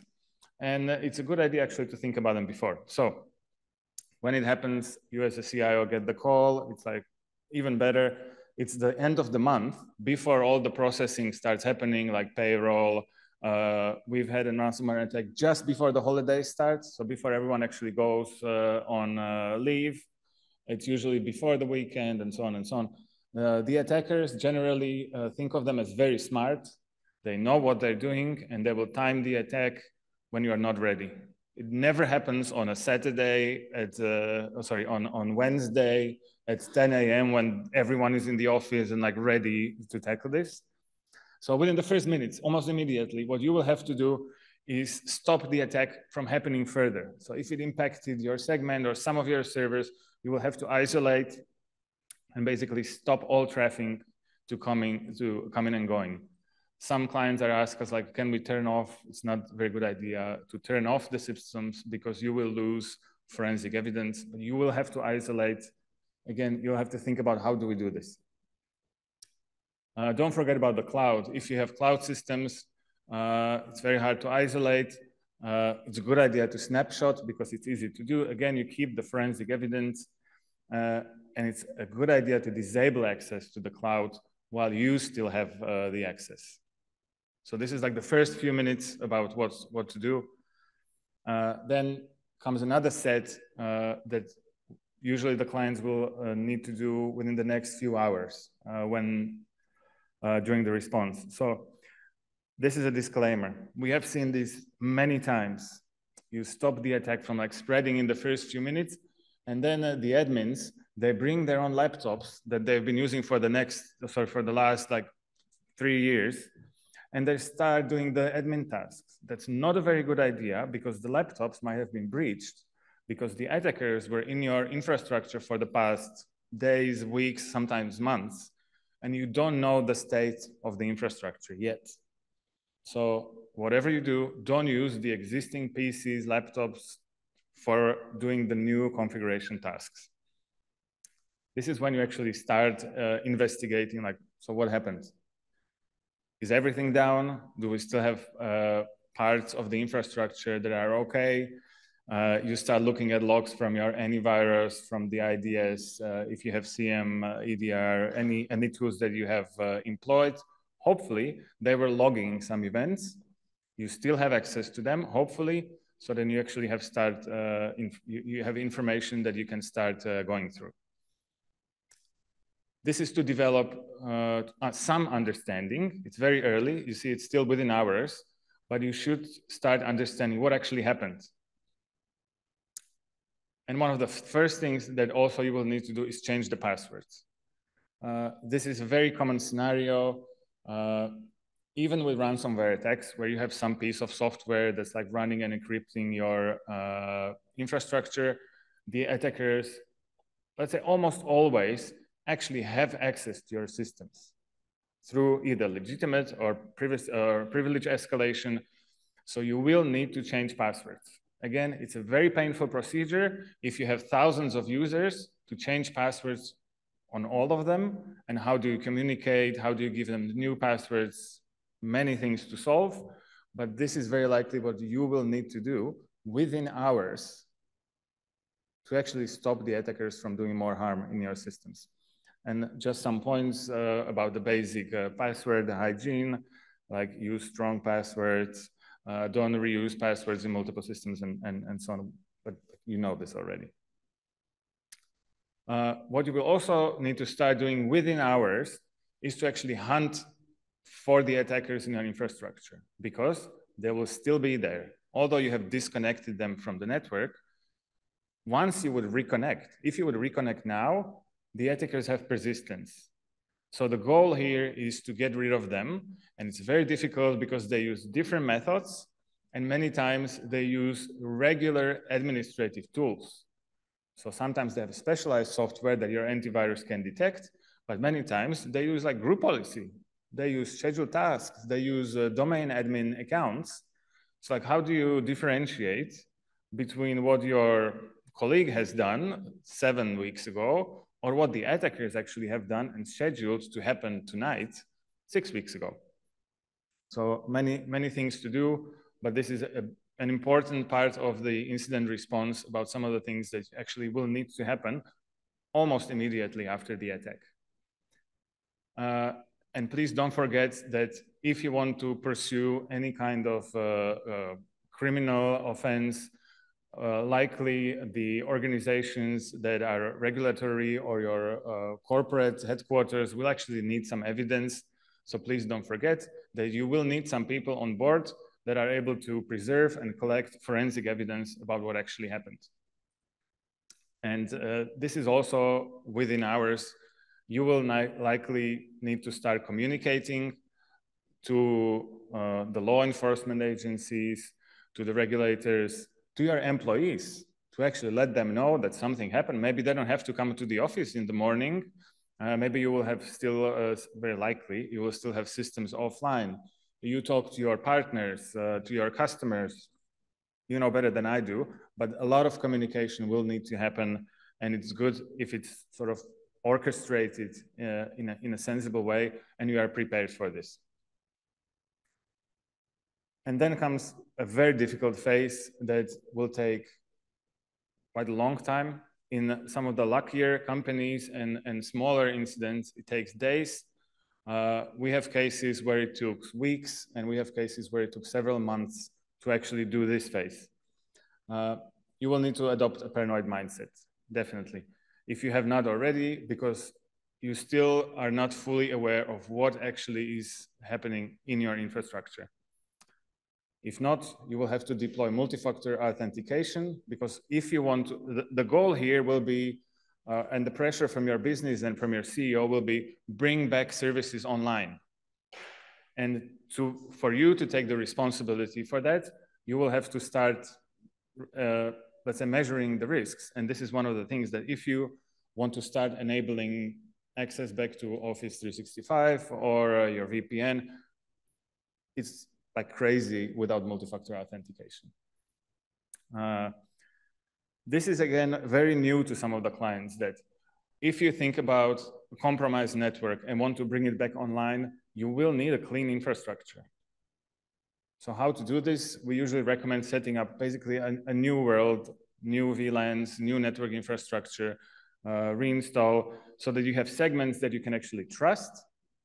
Ideally, micro segments, meaning one server per segment with a very well defined of rule, set of rules about who can communicate to that segment, where that segment can communicate to, and so on and so on, with the least privilege uh, philosophy or principle, uh, meaning the default surely should be deny all.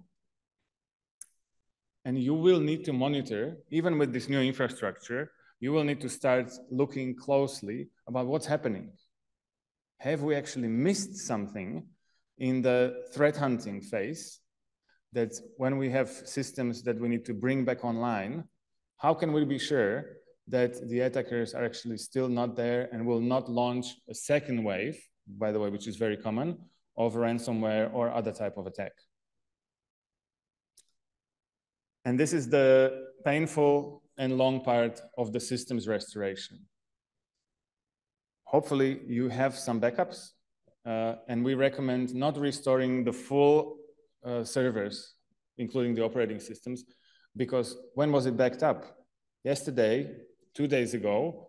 Well, guess what? You backed up the state when the attackers were in the infrastructure, because very likely they have been there for days and weeks before the, before the attack. So how far would you have to go back to actually have a clean system?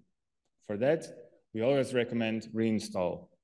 And I know by looking at you that this is very scary and it's sometimes actually very difficult and sometimes even it's impossible. In those cases, maybe you will have to accept the risk that we are restoring a live system that we don't know what happens, but with the basics like the segmentation and hopefully deployed some EDR uh, tool that you deploy also, let's say, on some of the not really uh, stable systems, where again you can monitor and detect and, and hunt for the threats.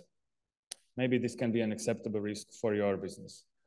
But of course, patching and all these basic things, they, they need to happen for you to trust uh, the systems. Once the systems are restored and with a certain level of trust or mistrust, you can move them into these new clean systems where they're still being monitored. And this is also where your team, maybe with some external help, can conduct what we call the root cause analysis, which is where you come to the original question, what actually happened? How did they get, how did the attackers get into the infrastructure? How long were they there? And some companies ask actually why. So maybe it was financially motivated, as usually it is with ransomware. But in other cases, it can be a, um, let's say, un unhappy, very unhappy employee, uh, hacktivism, and, and other causes.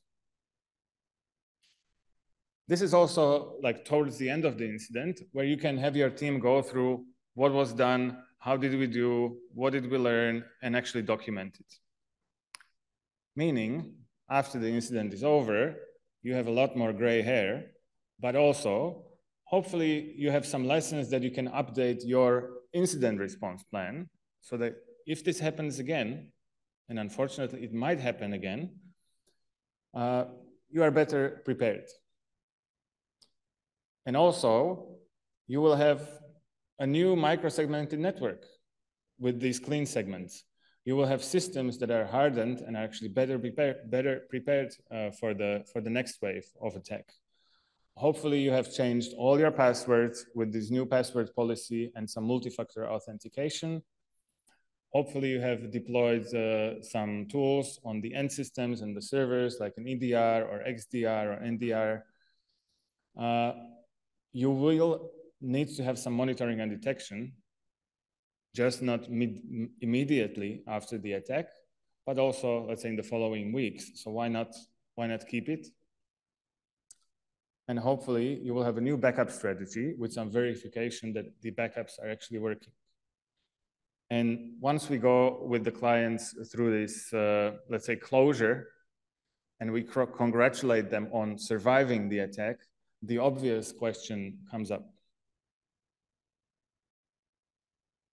If we have done this three months ago or six months ago, at least some of things, some of these uh, items, it's very likely that the ransomware attack either would not have happened because some of these items actually prevent uh, the attacks, or it would not have been so devastating. So my message to you guys today is that you will have to do these things immediately following a ransomware attack. And I believe it's very wise to actually do them before. Thank you very much. Well, I have to admit, uh, Martin, that uh, I think uh, the biggest nightmare that the CIO could have is to to be a victim of a ransomware attack and you know to wake up in the morning uh, or a Saturday night when we are at the pub or whatever uh, to see that everything is scripted. That's a nightmare. now, uh, well, let me ask you something. All the steps you mentioned from uh, you know day number one, first minutes, day number two, the weeks after, and so on and so forth shouldn't be part of a incident response plan? And if yes, should we test those measures? Perfect. That's a, that's a great question. Thank you very much. So uh, yes, uh, the short answer is yes, yes. the longer answer is, of course, you should have an incident response plan. And just like backups, you have to verify that it works.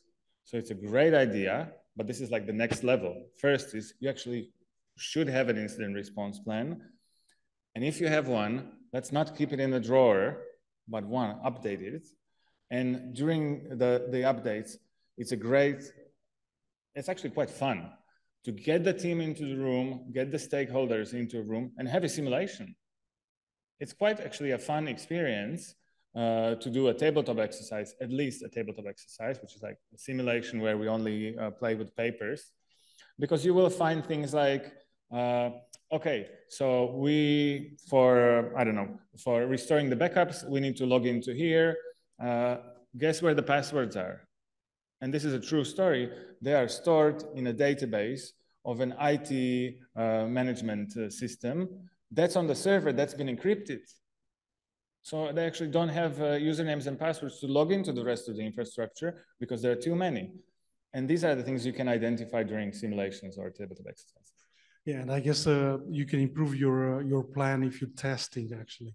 Um, now, uh, can you give me a flavor? If I'm a company with uh, I don't know like uh, 1,000 end user computers and like I don't know several hundred servers, what is the time expected time to recover if I have again several hundreds uh, servers and everything is scripted? You know, starting because we have to start with the Active Directory, right? In general. In, in, in general, it's weeks and months. And, weeks and months. And in some of the cases, it's measured actually by the percentage of what's uh, restored. Uh, there is a very famous case from Ireland where uh, a number of hospitals were encrypted in a single ransomware attack. And The, the report, by the way, was written by, by was sanctioned by the government uh, and was written by a well-known consulting company that uh, said that I think within 12 months, they were still not 100% restored. It was, it was a high number, it was 90 something percent. Uh, but like it's almost, it's almost impossible to go back to where you were before the attack. 1,000 end user, it's a small business, Yes. right? So if you're telling me like weeks, a month, I mean, this message should pass through the to the board of directors. Because if we tell them that in you know in weeks and months I'm going to restore the business, I would believe that they will be very involved in procedures to testing, you know, the disaster recovery plans and stuff like that. Make sense? Absolutely. I mean, and uh, with industrial companies, these are some of our clients. Uh, the number one priority usually is to restore the, the manufacturing process. Even this is days at least. And if we're talking about big, big uh, let's say, industrial companies, a day of downtime, the costs are incredible. Thank you very much, Martin. Thank you very much. Absolutely lovely presentation. So,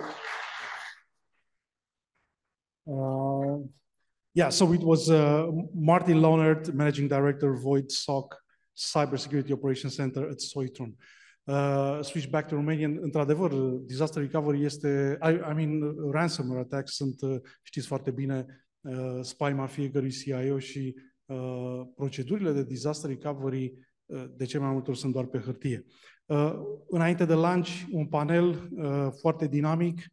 Uh, îl vom invita alături de noi pe Bogdan Ștefănescu în cadrul uh, Dell și poziția este Bogdan, ne știm de o viață, dar pentru că ai venit în locul lui Ionuț Roșca, nu mi-am actualizat prezentarea. Uh, Te găsesc eu. Uh, Cristian Cucu, membru CIO Council, George Lazar, membru CIO Council, oameni uh, cu vechime în industrie, Călin Rangu, tocmai a ieșit la un telefon foarte clar, vicepreședinte CIO Council și membru fondator, și Ion Ionus Georgian, CIO în cadrul Petrom. Vă rog să poftiți. Haideți, domnilor, cu curaj la masă.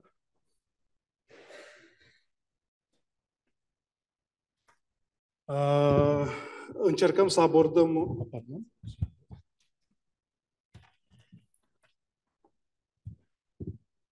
Încercăm să abordăm uh, uh, subiectul cyber security. Cred că au fost uh, foarte multe uh, minci care ni s-au uh, pus la fileu.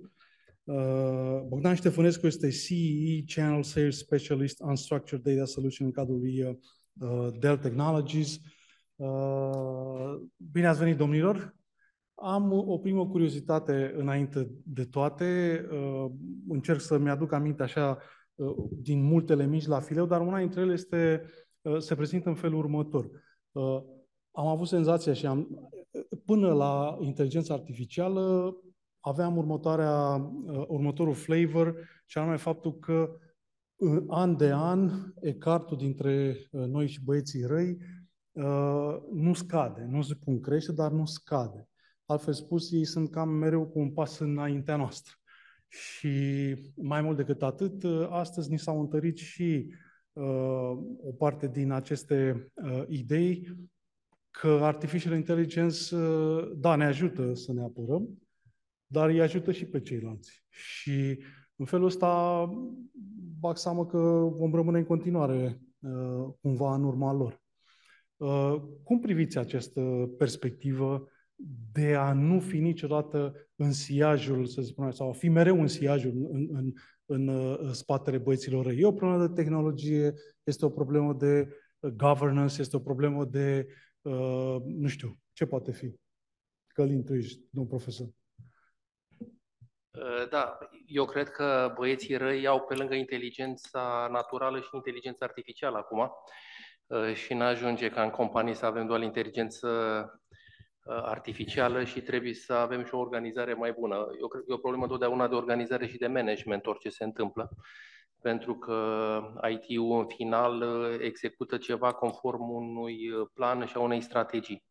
Și dacă ne uităm în zona de corporate, uh, birocrațiile organizaționale, care sunt verticalele din cadrul fiecărei instituții, probabil îngreunează foarte mult uh, agilitatea necesară pe care o au ceilalți. Și până se fac modificările organizatorice necesare, până se aprobă bugetele, până se capătă încredere că ce spune cel de la IT sau de la securitate chiar este valid și trebuie să se facă pasul următor, probabil ceilalți au mai făcut doi pași înainte și tot așa. Deci probabil uh, problemele organizatorice interne din cadrul companiei și lipsa unui management adecvat și lipsa unui management al riscurilor adecvate, de fapt, în fond este profesionalizarea fiecărui pe fiecare verticală de business, sunt cauzele principale care de, determină decalajul. Da, uh, am, am mai aflat cu ocazia asta, cred că a punctat și Dan uh, Câmpean, am mai găsit și eu uh, niște rapoarte de, mă rog, chiar Estenian spunea, la un moment dat, apropo de directiva NIS, foarte bună inițiativă și foarte corectă și normală. Costurile, deci directiva NIS 2 lărgește aria, ceea ce e normal, de companii care intră sub acoperirea NIS 2 și exista un raport foarte clar care spune companiile care sunt deja sub incidența NIS uh, vor trebui să cheltuie cu până la 15%, e un average, evident, uh, cu securitatea cibernetică, cele care nu sunt pentru a, a obține, să spunem așa, uh, acceptance din partea NIS 2, uh, iar companiile care nu sunt și intră acum, uh, costurile merg până la 25%. Uh, asta înseamnă că, până la urmă, cum să spun, nu știu în ce măsură vor vedea bordurile și executivii această, această creștere de costuri până la urmă, care se vor reflecta în cost of goods sold, în, în, la costurile utilizatorilor. Da. Aș adăuga uh, ceva. Uh, uh, așteptam cumva de la Dan să ne dea și o volumetrie. Uh, apucat să se vorbesc cu el săptămâna trecută uh, și directoratul uh, are pe NIS 1 undeva la 1300 și ceva de entități pentru Uh, mă rog, în uh, audit scope. Și se așteaptă să existe undeva la peste 15.000 de entități uh, participante în NIS 2 datorită lărgirii foarte mult către zona de industry și manufacturing și pe partea de administrație. Deci pe lângă costurile crescute cu NIS 1 și care vor aduce dialogul ăsta la nivel de board într-un mod destul de presant, Uh, se va scala foarte mult uh, implementarea în uh, mai multe industrii. Va fi un impact interesant și o să vedem, am văzut și eu raportul UI, va, probabil că va genera o, o avalanșe cumva de îngrijorări și lumea o să fie mai aproape de fenomenul cyber. Dar durează. E un proces destul de lung. Avem 17 octombrie, mi se pare, anul viitor, Um, termen uh, final de adoptare a legislației naționale vis-a-vis de uh, cadrul NIS 2 și uh, ulterior încă 2 ani de implementare. Cred că aceste costuri sunt generate în primul rând de nevoia de a face niște schimbări organizaționale care ei nu le-au făcut de-a lungul timpului. Mi-aduc aminte, de exemplu, în zona financiară, în zona asigurărilor pieței de capital, în cadrul ASF-ului, am emis o normă privind riscurile operaționale generate de IT, care a fost foarte utilă ulterior când a apărut GDPR-ul, pentru că ce au trebuit să facă pentru a aplica acea normă, alea a fost mult mai ușor și au, și au investit odată, după aia au reutilizat în uh, reglementările ulterioare care au apărut și le va fi și mai de folos acum la NIS. Deci, într-adevăr, dacă o iei de la zero, probabil este greu, dar și NIS-ul acoperă companii care sunt importante, esențiale, nu cred că ei au o companie de la zero ceva și devine esențială peste noapte, pentru că nu prea pot să devii esențial din nimic. Uh, și atunci, cred că aceste costuri, oricum, statisticile sunt statistici. Trebuie, va trebui să vedem rezultatele finale. Uh, probabil cei care oferă servicii de professional services, advisory, vor câștiga foarte bine și cei care oferă servicii de SOC și alte tipuri de servicii de securitate, pentru că e normal decât să investești tu atâta mai bine te duci la unii care scalează altfel. Uh, te duci la o firmă care are 10 clienți, normal cheltuiala pe unitate mai redusă decât dacă tu reinvestești. Numai absența, Dan, acum, domnul director Câmpeană nu a vorbit de lipsa de oameni de IT, de securitate IT. De unde să iei? Trebuie să te duci la cei care iau, pentru că altfel costurile cresc. Deci dacă te gândești numai că nu o să mai angajezi oameni care să plătești câteva mii de euro uh, fiecare, atunci probabil și costurile o să se reducă pentru că te duci la cei care au aceste resurse pe piață. Da, dacă mea vorbea la, că noi am fost împreună, 2500 de specialiști numai la DNSC. Te rog. Aș lega, aș lega cele două întrebări, pentru că plecând de la prima întrebare, dacă atacatorii au, cu siguranță au de față un avans împotriva, în fața celor care se apără, și dacă vor păstra acest avans, eu cred că da, um, pentru că au un mare avantaj. Și anume, atacatorii este necesar să aleagă o vulnerabilitate, să descopere o vulnerabilitate și să, uh, cu acea vulnerabilitate, să încerce să exploateze o companie sau mai multe, de obicei mai multe, dacă nu este un atac targetat, în schimb ce o companie va trebui să se apere de toți atacatorii din piață, da? Uh, mai mult decât atât, neștiind exact care vor fi armele cu care vor fi atacați, în timp ce atacatorul, bineînțeles, că și alege armă.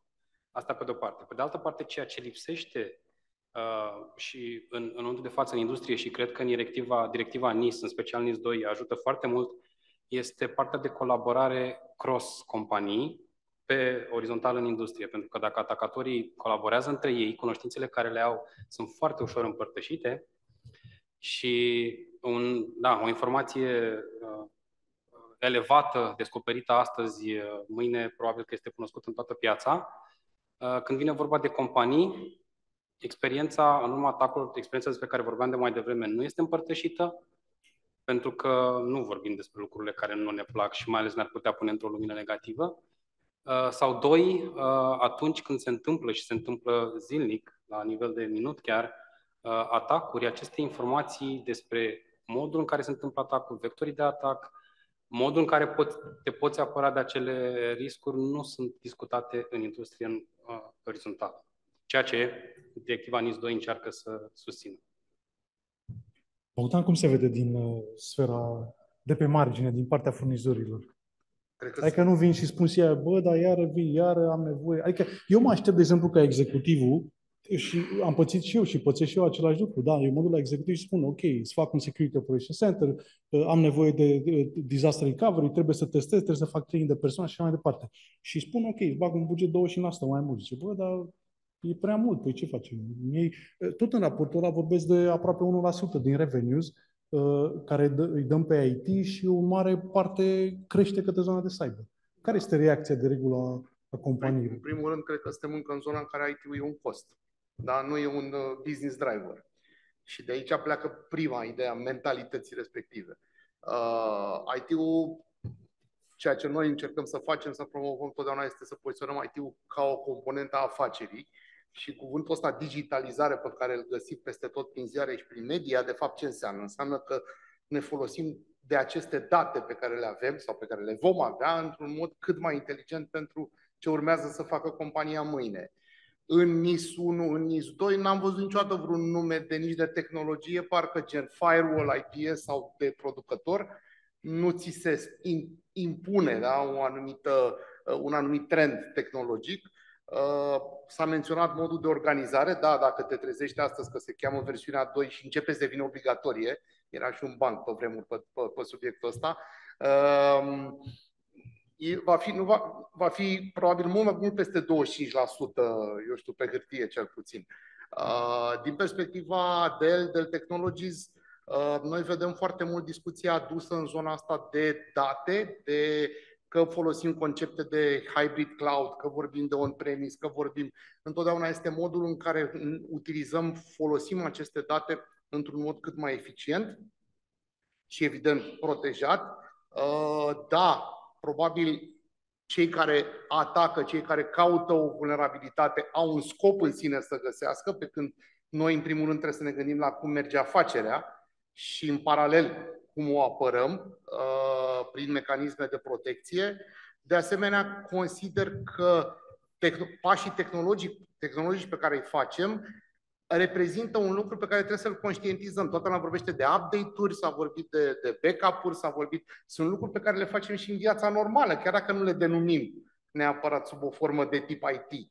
Uh, văd foarte mult IT-ul ca fiind part, partea procesului de business driver și pe undeva creșterea acestor exponențială a acestor date pe care o vedem, o erupție practic, uh, cred că ușor va da AI-ului, analiticului, că înainte îi spuneam analytics, acum mai spunem AI sau generativ AI, da, va, da, îi va oferi mecanisme afacerii ca să iasă cumva din zona de un simplu cost center.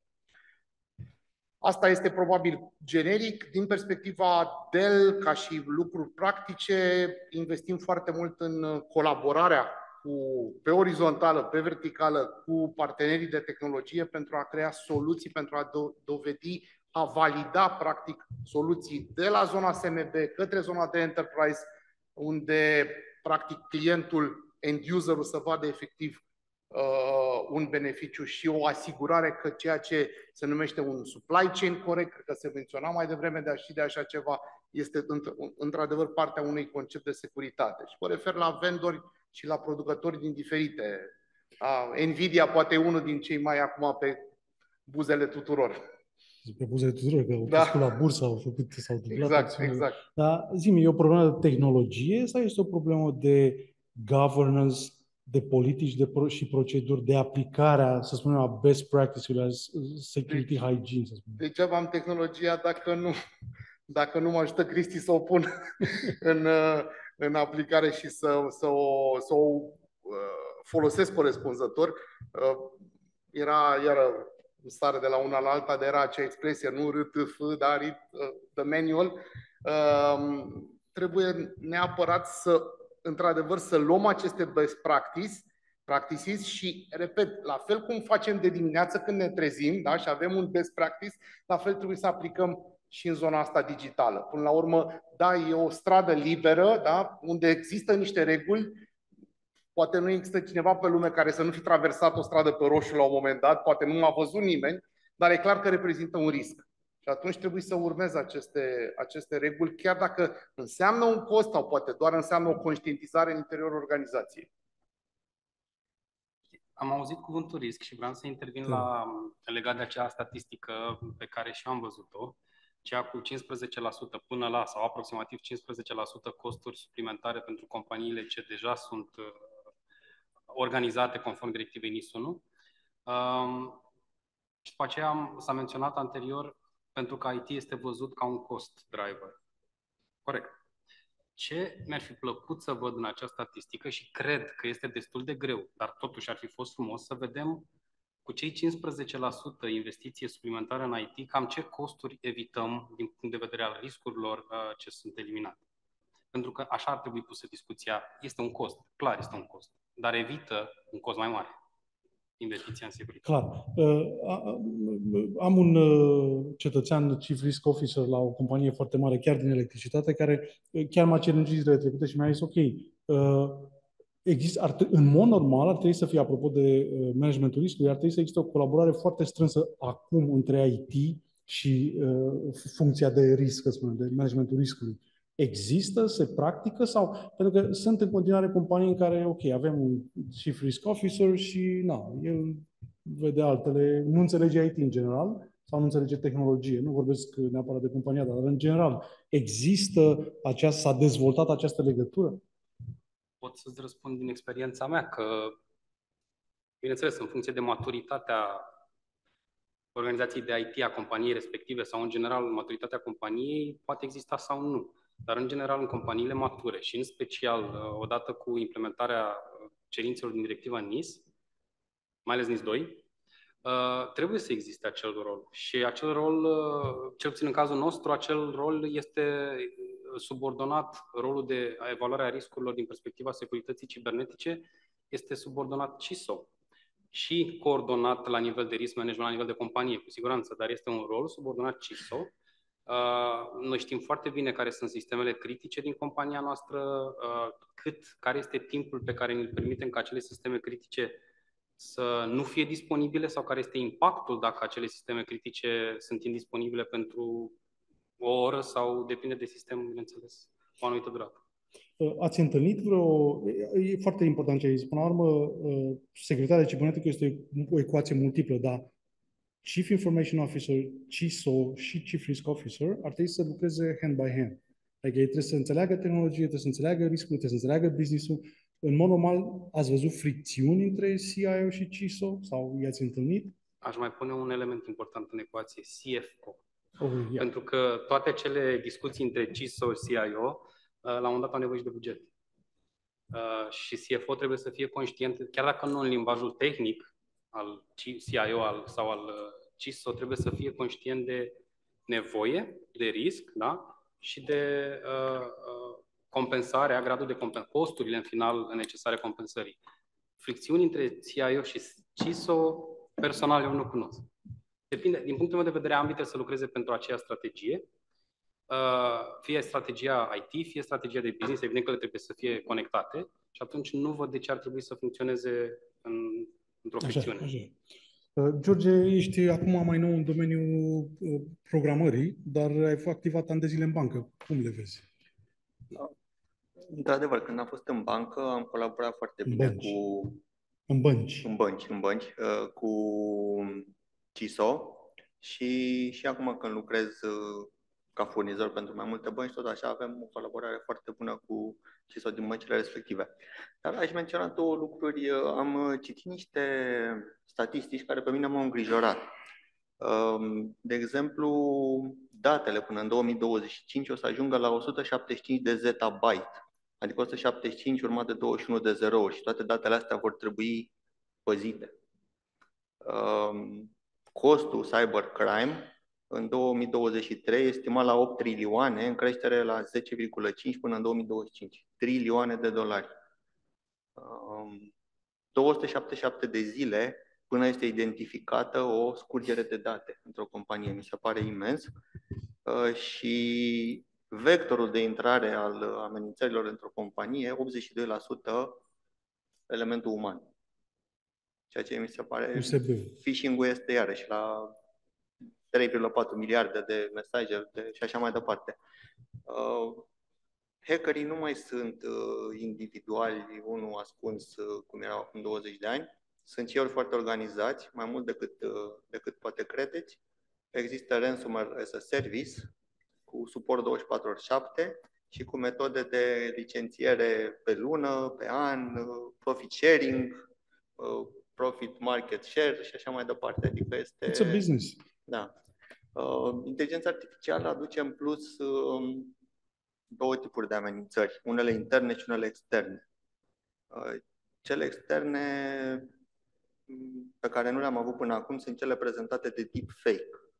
Uh, deepfake-ul aduce cu el mai multe pericole, mai multe riscuri. Unul din ele este furtul de identitate, care acum se poate face mult mai ușor dacă ai secvențe video pe internet, dacă ai poze, Uh, ți se poate crea un video cu tine, dacă ai înregistrări vocale, ți se poate crea o identitate vocală. Acestea pot fi utilizate ori ca să facă bypass la autentificare, ori să îți creeze cont în diverse locuri. Um, mai poate fi folosit deepfake-ul pentru manipularea pieței, manipularea pieței de capital sau pentru Uh, ca o armă împotriva unei persoane care nu-ți place să-i creezi probleme reputaționale. Bine, ai ridicat foarte multe mici la fileu. Deci asta cu manipularea pieții mă interesează, discutăm după aia. Da, ai vorbit despre cantitate foarte mare de date, lucru spus și de uh, Dell. Uh, nu numai protecția lor, ci și manipularea lor sunt iarăși niște costuri mari. Ai vorbit de 277 de zile, știu statistica aia, average până când se depista, dacă nu mă înșel, un atacator în interior, ceea ce este absolut enorm. Ceea ce este absolut enorm. Deci chestia asta depășește uh, absolut uh, așteptările. Uh, aș vrea să, să mă întorc un pic la, la problematica ridicată de Martin. Uh, adineauri cea de ransomware, cu atât mai mult cu cât am avut un caz de ransomware, zic eu, extrem de important zilele astea, E public, am văzut CertSign, a ieșit foarte bine. Din punctul meu de vedere, comunicarea a fost extraordinar de bună și corectă, în linie cu... Dar este un, un caz care cu siguranță va produce niște, nu știu, niște efecte. Uh, și mă tot la tine, Ionuț, toți pașii ăia pe care i-a descris el, uh, Martin, sunt cunoscuți, îi aveți, i-ați testat, cum te simți tu, apropo, ești CIO al cea mai importantă firmă capitalizare în bursieră în România, apropo de ransomware? Suntem și, suntem și unul din clienții cei mai importanți, aș zice, pentru compania respectivă. Evident că pentru noi a fost o ocazie de a învăța uh, din acest eveniment. Uh, cu siguranță comunicarea a fost una foarte bună, am văzut și elemente de colaborare foarte profesioniste. Uh, ce a fost important pentru noi a fost să ne punem, pe de-o parte, să ne securizăm infrastructura ca răspuns la incidentul ce s-a întâmplat la unul dintre partenerii noștri, dar pe de altă parte a fost o ocazie bună de a ne pune în uh, papucii celor companii respective și a simula, a înțelege cum am fi răspuns noi într-o situație similară. Avem câteva lecții învățate din asta, um, dar cred că cel mai important uh, aspect legat de incident response plan nu este doar să înveți din uh, evenimentele altora, ci să încerci să îți simulezi propriile evenimente, să încerci să înțelegi cum ești tu ca și organizație vulnerabil și cum cineva ar putea produce un astfel de eveniment nedorit. Noi facem asta de câțiva ani buni anual. Chiar în următoarele săptămâni avem un eveniment de genul acesta în care simulăm un ransomware foarte puternic, uh, ce ar, ipotetic vorbind, ce ne-ar afecta infrastructura. Iar alături de uh, colegii cheie din organizație, cei care sunt și responsabili în planul de incident, uh, de răspuns la incident critic, pe parcursul unei zile întregi vom lucra doar pe acel plan de simulare de răspuns de incident, vom aplica proceduri, vom învăța, vom exersa și vom fi pregătiți un pic cel puțin de, de experiență într-o situație nedorită, dar care ar putea să se întâmple în realitate.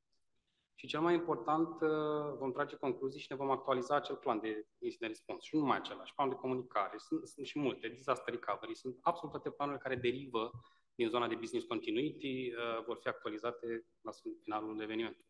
Aduceți și CFO-ul la masă sau, mă rog, alți um, stakeholder? Patru ore în acea zi vom lucra doar cu board members. Absolut. Pentru că e clar, companie listată la bursă a spăsit una din asta, v-ați dus 10% în jos. Pentru noi, securitatea cibernetică sau securitatea informației este un element critic pentru funcționarea companiei. Avem o infrastructură foarte, foarte complexă, evident și cu foarte multe provocări venite din asta, combinații între sisteme OT, IT, uh, foarte multe domenii de activitate, chiar dacă lumea ne cunoaște ca domnii sau, mă rog, compania care asigură benzina din benzinării sau combustibil din benzinării. Um, și atunci este esențial să investim, să ne asigurăm că din punctul de vedere al securității cibernetice, compania are o bază foarte stabilă pe care să funcționeze.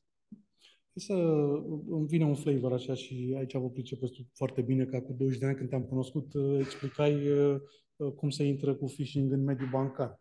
Uh, discutăm de acum 20 de ani de phishing și discutăm și anul ăsta de phishing, discutăm probabil și la anul. Mai mult decât atâta, ni se transmite în căști că, și anume cu ajutorul algoritmilor de AI, construim deja mesaje din ce în ce mai uh, greu de depistat. Pe de altă parte, ni se spune și că, și anume cu ajutorul AI-ului, reușim să depistăm aceste mesaje foarte sofisticate.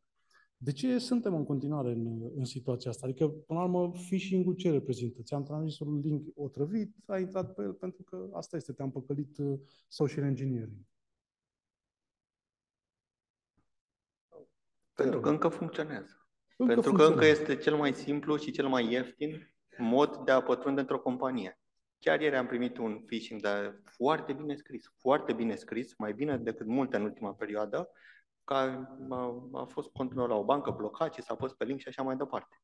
Dar era foarte bine scris față de altele de lunile trecute. Deci cred că din ce în ce scris mai bine, cred că inteligența artificială e folosită pentru asta, pentru a scrie mai bine. Pe de altă parte, și sistemele care detectează spam și phishing-ul ă, învață din ce în ce mai mult. Aici lupta o să rămână în continuare și ultima verigă de apărare este omul care nu apasă pe acel link. Deci noi de el depindem să apărăm compania până la urmă, deocamdată. Foarte fricoșător. Mm, n-aș vrea să sune deloc fricoșărător, dar uh, răspunsul la întrebarea de acum 20 de ani și în fiecare an de atunci până acum, răspunsul la întrebarea asta de ce funcționează phishing, pentru că în continuare componenta umană este cea mai slabă verigă din lanțul de securitate cibernetică. Și probabil uh, în top 3 cauze sau root cause pentru uh, infiltrările care se întâmplă în, în infrastructură. Bun, deci phishing-ul funcționează și anume pentru că colegii noștri sau noi de la IT uh, suntem uh, social engineers, sau cum să spun, păcăliți cu inginerie socială, da? Până la Și acum mi-aduc aminte de o întâmplare în, în, în, într-o companie în care am activat, în care mi-au spus, evident, făceam training-uri în fiecare lună, adică, mă rog, periodic, aveam un scor frumos, intrasem în zona de gaming, uite, a crescut cu 30%, cu 15%, în fine, depistam persoanele cele mai vulnerabile. Uh, una peste alta uh, a venit și mi-a spus, uh, domnule Urni, dar eu produc energie sau eu produc benzină sau eu produc, nu știu, ciorapi. Eu sunt specialist chim, în inginerie chimică, nu pot să, este treaba ta. Așa vine spune, nu este treaba ta. Deci tu trebuie să spui cele mai bune sisteme de tehnologie, trebuie să-ți aduce AI-ul dacă vrei, dar nu e treaba mea. Tu, vrei, tu poți să devii chimist mâine să-mi spui și mie cum se, uh, știu eu, procesează aluminiu sau cum se creează megavatul și pe cuvânt că avea dreptate. Nu? Da, e o dezbatere foarte veche, într-adevăr. Vreau să arunc și eu așa o, o idee. Uh, cred că, în primul rând, phishing-ul este prima, prima încununare cumva a AI-ului în zona asta de, de atac.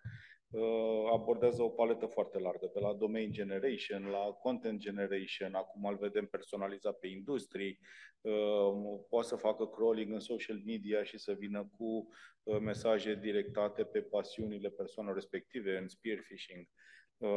Adică complexitatea asta cumva AI-ul o, o gestionează mult mai bine decât uh, ar gestiona un hacker și ajunge as a service, ajunge la un cost foarte, uh, foarte mult diluat uh, și evident când ai o masă foarte mare de persoane care văd un, um, un profit sharing platform ușor de folosit și fără un impact cumva din zona asta de policing foarte bine definit, pentru că ei se ascund ușor în spatele acțiunilor, plus că sunt foarte mulți copii teribiliști care nici nu-și dau, nu dau seama de impactul pe care îl fac.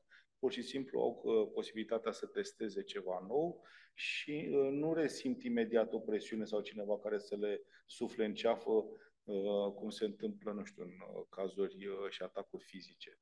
Uh, și atunci, evident, proliferează chestia asta. Uh, dar a segmenta un pic, pentru că, uh, revenind la prima ta întrebare, de ce atacurile pe zona asta uh, AI enhanced uh, au, un, uh, au un avantaj față de defensurile uh, AI enhanced? Um, eu cred că sunt falii diferite, adică AI-ul ajută anumite domenii și evident acele domenii sunt speculate. Ajută phishing-ul, pentru a genera content, uh, diversity, uh, limbaj, uh, dar nu în același sens ajută defensul. Ajută defensul în zona de mapare și learning, de exemplu, a traficului și a patternului de trafic. Și acolo îl implementezi în altă zonă. Deci o falie ajutată de, în zona de atac și o altă falie ajutată în zona de defense. Ele nu se meciuiesc. AI e folosit, e greu de comparat acum dacă e mai eficient într-o parte sau în cealaltă, dar e clar că uh, încercăm să găsim și să uh, diminuăm rolul uh, uman da, în, uh, ca verigă slabă în lanțul ăsta tehnologic. Machine to machine a devenit aproape lupta. Uh, cu scopul de, uh, de a nu avea surpriză. Dacă până la urmă asta e, apasă secretara, ce poți să-i faci secretarei, vorba ta e treaba IT-ului, nu era treaba secretarei să știe că linkul ăla o duce nu știu unde sau să verifice adresa de mail uh, că nu este de la uh, vendorul care i-a trimis e-mailul respectiv. Da, adică perspectiva mea este, după ani de zile de educat utilizatori, este că nu vom putea. Și, adică, ca să îi facem pe toți experți și în momentul în care citește mail-ul sau intră pe o pagină web să vadă URL-ul că este corespunzător, va fi foarte greu să acoperim acel 100%. Deci, până la urmă, acest vector de intrare nu e greu să cred că va dispare. Nu, și cred că trainingul va rămâne întotdeauna uh, un factor deosebit de important, dar va fi un factor, nu va fi Uh, uh, nu va rezolva uh, problema. E clar, e clar că uh, CISO trebuie să rezolve. Uh, am o opinie un pic separată în față de ce a menționat Ionuț. Nu CFO cred că este cel care gestionează de adevărat riscurile, ăsta este CEO, pentru că el trebuie să prezinte și acționarilor modul în care compania reușește să mitigheze riscurile cu care se confruntă. El trebuie să stabilească strategia de mitigare a riscurilor. CFO trebuie să o financeze și trebuie să se asigure că este efectiv.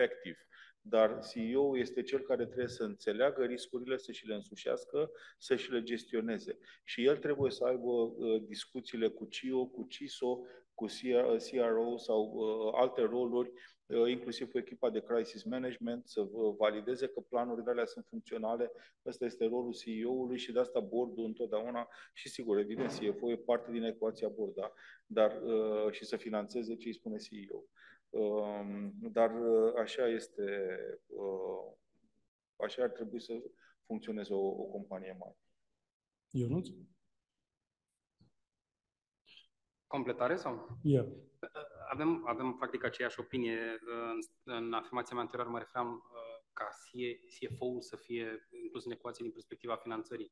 Riscurile, evident că trebuie uh, evaluate în contextul afacerii și a strategiei afacerii, unde contribuie întreaga organizație, tot bordul, dacă e să luăm așa. Zi-mi așa, pentru că tu ești cel mai important CIO din această sală în momentul de față. Care sunt cele mai presante problematici pe care tu le ai, trebuie să spui din Petrom, așa în general, ca și cum ai fi un CIO și ce te preocupă pe tine cel mai mult când vine vorba de componenta de security, de cyber security? Ce spune CISO până la urmă? Care e planul? Cu siguranță, elementul cel mai, cel mai evident este lupta, sau mă rog, uh, uh, alergătura asta de a șoarecele și pisica dintre uh, descoperirea vulnerabilităților, uh, peciuirea lor uh, și eventual următorul buletin de securitate la mari producători de software să descoperim că începem cursa de la început. Clar, asta e cea mai mare provocare. Cum, cum închidem uh, bucla aceasta, care oricum se va închide probabil niciodată. Um, probabil odată ce există acel nivel de maturitate uh, din perspectiva securității cibernetice într-o organizație, probabil asta este și bucla care consumă cel mai multe resurse. Um, pe de altă parte, sunt evident și alte elemente una a fost, una a fost menționat uh, chiar mai devreme. Lipsa uh, specialiștilor din piață. Uh, este foarte bine că standardizăm, este foarte bine că ne propunem să dezvoltăm uh, capabilitățile pe care le avem și nivelul de protecție al, al, al sistemelor pe care le avem, dar este foarte rău că nu putem pregăti sau nu avem oameni pe care îi putem atrage trecând, trecând peste orice fel de discuție de, de costuri despre cât de bine sau mai puțin bine este plătit acel angajat, nu există efectiv acei uh, candidați în piață. Uh, o altă provocare este, și am menționat mai devreme, colaborarea între companii pe orizontală. Uh, alte state europene sau poate și în alte țări uh, de pe glob, există foarte multe um, Information Security Analysis uh, Centers, ISAC, da? Uh, noi suntem puțin în urmă, dar ar, ar fi un beneficiu considerabil pentru industria IT din România dacă am dezvoltat mai multe astfel de centre și dacă am putea schimba experiența între noi într-un mod mai facil. Uh, ai menționat o chestie care mi-a plăcut foarte mult apropo de uh, problematicile cu sistemele de operare, că practic 30%, am văzut o statistică la un moment dat și o spun din experiență, 30% din timpul pe care un, un CIO sau un departament IT îl consumă este ca să peciuiască sistemele de operare. Ceea ce este absolut enorm, este absolut enorm. Uh, ceea ce mă duce, cu tot respectul, la, uh, am așa un flavor de gândire, uh, că și anume produsele pe care noi le instalăm pe calculatoare, cu tot respectul pentru partenerii noștri, uh, sunt defecte sau sunt, au probleme, hai să nu spunem sunt defecte, că e prea mult. Dar au niște baguri. Baguri care, până la urmă, sunt uh, uh, cele care oferă acele backdoors. Nu intrăm deja în zero day sau în alte lucruri, că deja sunt... Uh, dar nu ar trebui să fie cumva partea problemei de securitate? Adică eu mi-am pus sisteme cheltui 30% din timp din bugetul meu ca să le peciuiesc permanent, servere, sute de servere, sute, mii de, de stații și așa mai departe. acest cost, până la urmă, nu ar trebui să fie și partea problemei, nu ar trebui să fie o industrie mai reglementată. Mi-e greu să cred că s-a ajuns pe lună cu, sau mă rog, în industria spațială, de pildă, se trezesc și spun, ok, hai că trebuie să facem un update că a venit acum și balansăm sau facem din mers când ne ducem. Cu siguranță un element important este calitatea softului folosit și nu este vorba aici doar de sistem de operare, vorbim și de toate celelalte aplicații care rulează pe acele sisteme de operare. Cei 30% probabil sunt un pic, chiar chiar puțin mai mult.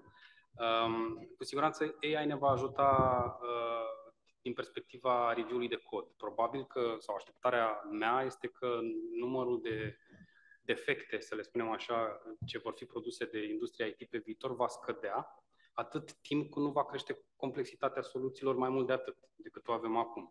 AI poate fi folosit pentru a testa automat uh, uh, acel cod. Uh, când, uh, la, în momentul în care a terminat Dan uh, discursul, uh, i-a pus întrebarea, știi, USB, chiar, chiar, chiar USB încă este una din cauzele principale pentru uh, infecții cu malware?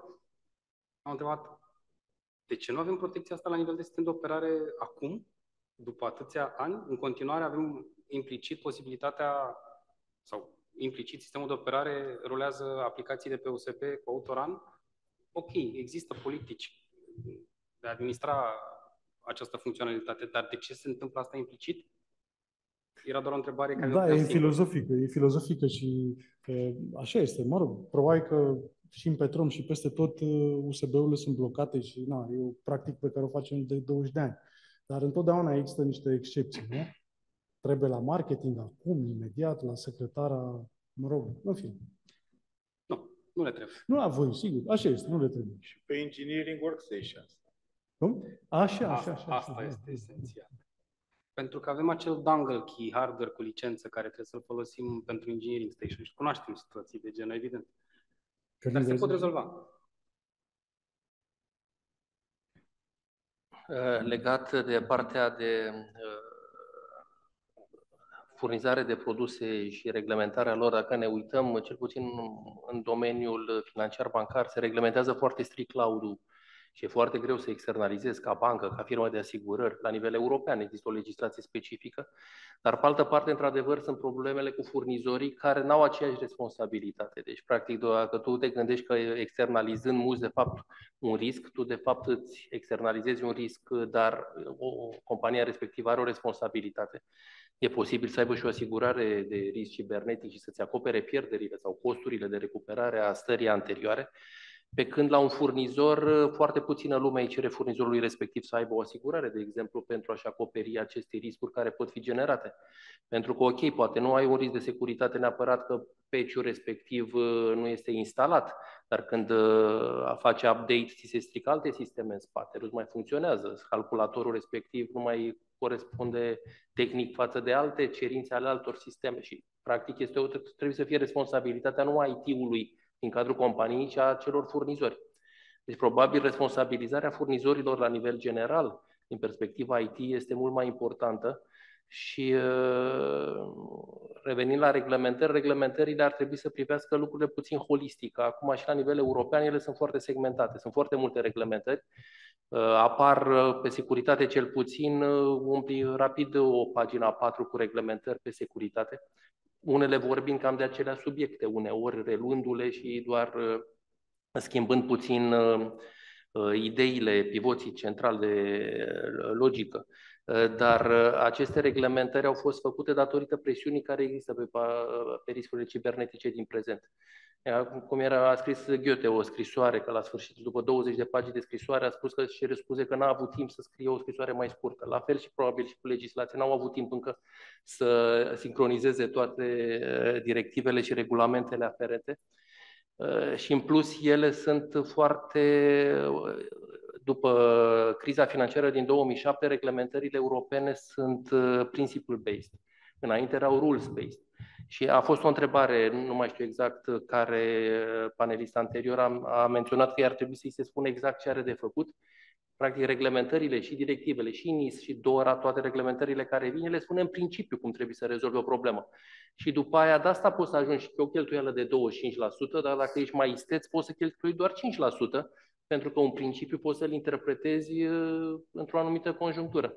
Uh, deci uh, ne trebuie până la urmă și niște standarde, standarde locale, inclusiv la nivel național. Nu există un sistem de standardizare. Implementăm cloud computing în România, dar vrem interoperabilitate, dar nu avem un standard, să spunem, companiile publice, autoritățile, cum trebuie să dezvolte ele un program informatic.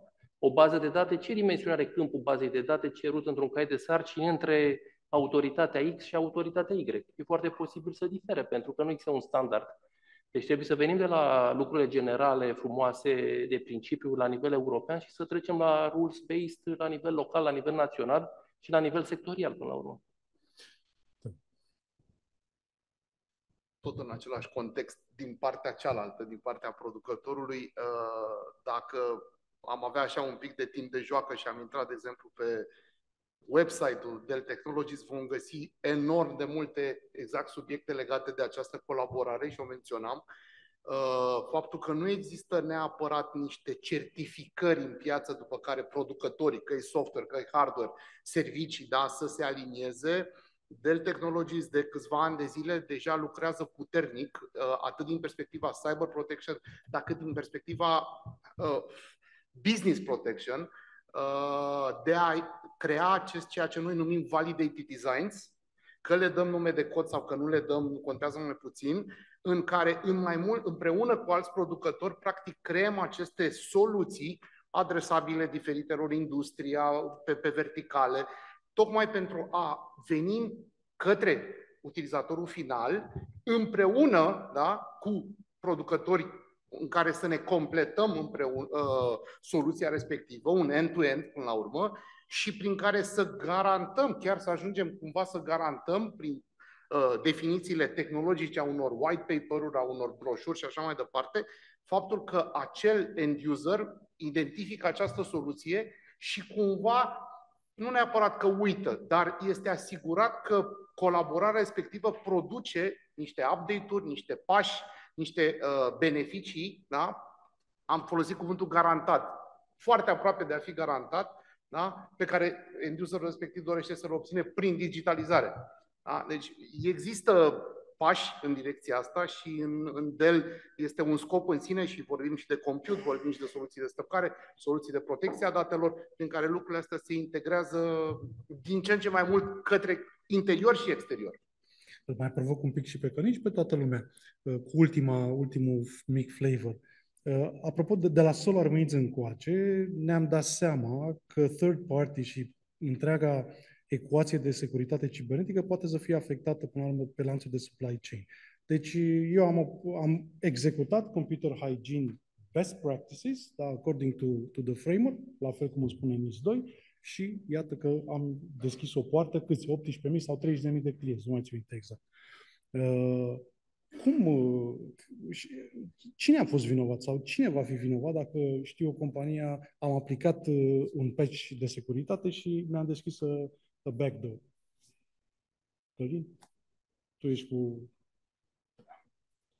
Până la urmă trebuie să ne uităm la practica și singura practică este tot în domeniul asigurărilor. Asigurările, asiguratorii, de exemplu, nu preiau responsabilitatea pentru mm. vina unui terț deci tu poți ca o companie să te asiguri pe riscuri cibernetice, dar dacă ai cumpărat un soft care are el un uh, uh, bot în interior și l-a instalat, practic respectivul a companiei ar trebui să aibă asigurare de risc cibernetic să te acopere. Deci din practica de pe piață care e limitată, probabil o jurisprudență și colegii din uh, zona de drept ar putea să răspundă mai detaliat, din practica acestora se vede clar că responsabilitatea se duce până la urmă la end furnizorul uh, principal care a generat cauza.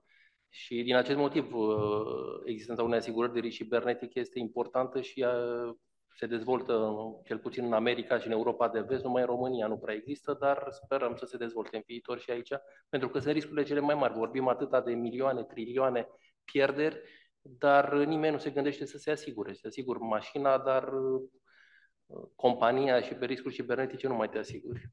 Nu, e foarte clar. Eu am încercat să ridic uh, pe parcursul panelului câteva, adică the dark side până la urmă lui cybersecurity, pornind de la costuri, pornind de la vulnerabilități sistemice, dar uh, lucrurile până la urmă uh, se pot vedea și din perspectiva pozitivă, și anume dacă execuți best practices și urmărești un framework de securitate și aplici cele mai corecte reguli, inclusiv cu disaster recovery, inclusiv cu sisteme de backup și le faci corect cum trebuie, în principiu ar trebui să fii ok și să depășești orice formă, chiar dacă până la urmă, să spunem așa, ești penetrat, trebuie să gândim până la urmă uh, din perspectiva ideii că mai devreme sau mai târziu cineva ne va penetra, dar cu programele și cu partenerii, încă o dată uh, trebuie să dăm uh, credit partenerilor, lucrurile sunt, sunt rezolvabile și nu, nu, nu este o tragedie. Un gând de final pentru CIOs care sunt și în interior și în Uh, uh, în online, George, ce ai fi tu, ce le-ai spune, ai un CIO în față de 2 billion US uh, dollar company, ce îi spune așa? Cred că asta am spus-o și la ediția precedentă și eu spun în continuare. Trebuie să urmăm best practices-urile din industrie, să ne asigurăm că ele sunt respectate, ceea ce ne va reduce riscul. Cu toate astea, riscul acela nu o să fie niciodată zero și depinde de buget, și de apetitul de risc al companiei, cât de jos va putea să ajungă. O să urmez exemplul lui George. Atenție la ransomware. Asta a fost în ultimele două ediții de fiecare dată punctul forte, dar dacă îmi permiți 30 de secunde, aș lega de AI. Um, am citit uh, săptămâna trecută o știre un pic under the radar. În Israel se pare că unul din atacurile Hamas au fost pe infrastructura de camere video. Uh, și vreau mm. să uh, menționez că mă, personal mă aștept uh, ca partea de IoT și industrial IoT să fie puternic atacată cu ajutorul AI-ului în viitorul relativ apropiat, într-un mod în care poate nici nu observăm uh, acest lucru pentru că nu avem mecanisme de tipul uh, SOC sau de tipul uh, uh, analizei de trafic sau a incidentelor, să ne dăm seama, apropo de cele de numărul mare de zile până când depistăm un, uh, un incident. Dacă ai mai putea să adaug ceva, uh, acum lucrez la un furnizor care furnizează pe mai multe piețe și în România și în străinătate. Ca urmare a acestui lucru, noi trebuie să îndeplinim uh, standardele din România și din țările respective. Uh, cu siguranță, foarte mulți furnizori fac acest lucru și urmează best practice atât în dezvoltarea software cât și în uh, implementarea soluției. Ne vrea să rămâneți cu ideea că la firmele software toată lumea scrie cod care urmează hai, să fie... Hai că nu spun parola în cod, așa știam, în fine. Oricum, n-am, n-am stat să discutăm despre IoT, pentru că acolo am discutat anul trecut, am avut o discuție foarte elaborată și cu tine și chiar cu, și cu Ionuț, uh, dar acolo, într-adevăr, lucrurile nu arată deloc bine. Rămânem aici că suntem în zona bancară. Cred că datele și modul în care le gestionăm, și mă refer evident cu priorități diferite, uh, ar fi probabil un element pe care l-aș discuta cu acel imaginar uh, CIO, COO, și faptul că, revin la ce am mai menționat, inclusiv în viața personală, avem griji diferite, da? priorități diferite și cumva acele, uh, acel, uh, acel, acel juvaier al familiei, adică în speță acele date cu adevărat critice, nu toate fiind super critice, trebuie să fie cumva gestionate, protejate în așa fel încât în cazul în care, da, în cazul în care am cum să rulez procesele critice, uh, respective până când reușesc să treacă acele săptămâni sau luni sau zile sau ce fi, până când reușesc să pun la loc pe picioare funcționarea unui întreg. Da? Deci, practic, o prioritizare a modului în care îmi, uh, îmi voi răspunde în cazul unei astfel de situații. Ionuț? Recomandarea mea merge cam în aceeași direcție. Ar fi să, să-și cunoască foarte bine serviciile critice, pentru fiecare dintre ele să existe un business impact analysis, să cunoască riscul la care se expune în cazul unui incident de securitate cibernetică și poate cel mai important aspect atunci când uh, caută finanțare se discute în termen de business, în niciun caz IT, în niciun caz tehnici, ci în termen de business. cu euro în spate la final.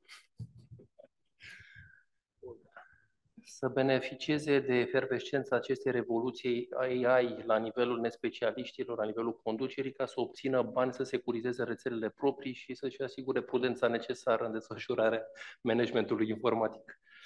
Da, mulțumesc foarte mult, doamnelor și domnilor. Discuția despre securitate cibernetică este mult prea vastă ca să poată fi acoperită în 50 de minute. Am încercat să aducem un flavor apropo de preocupările și Uh, să spunem așa, challenge-urile pe care CIO și departamentele IT le au, există o uh, legătură directă cu uh, furnizorii și supplierii și partenerii noștri, până la urmă, trebuie să fie alături de noi. Este clar că nicio companie nu se poate apăra singură, dar ideea fundamentală este că 99% din atacuri, așa cum ne învăța CERT-ul și DNSC-ul și CyberInt-ul, Uh, se pot uh, evita dacă îndeplinim acele uh, chestiuni uzuale de cyber hygiene. Mulțumesc foarte mult Călin Rangu, Ionuț Georgian, era să zic Ionuț Roșcu, Box, Bogdan Ștefănescu, Cristi Cucu și George Lazar. Big round of applause și mergem în lunch.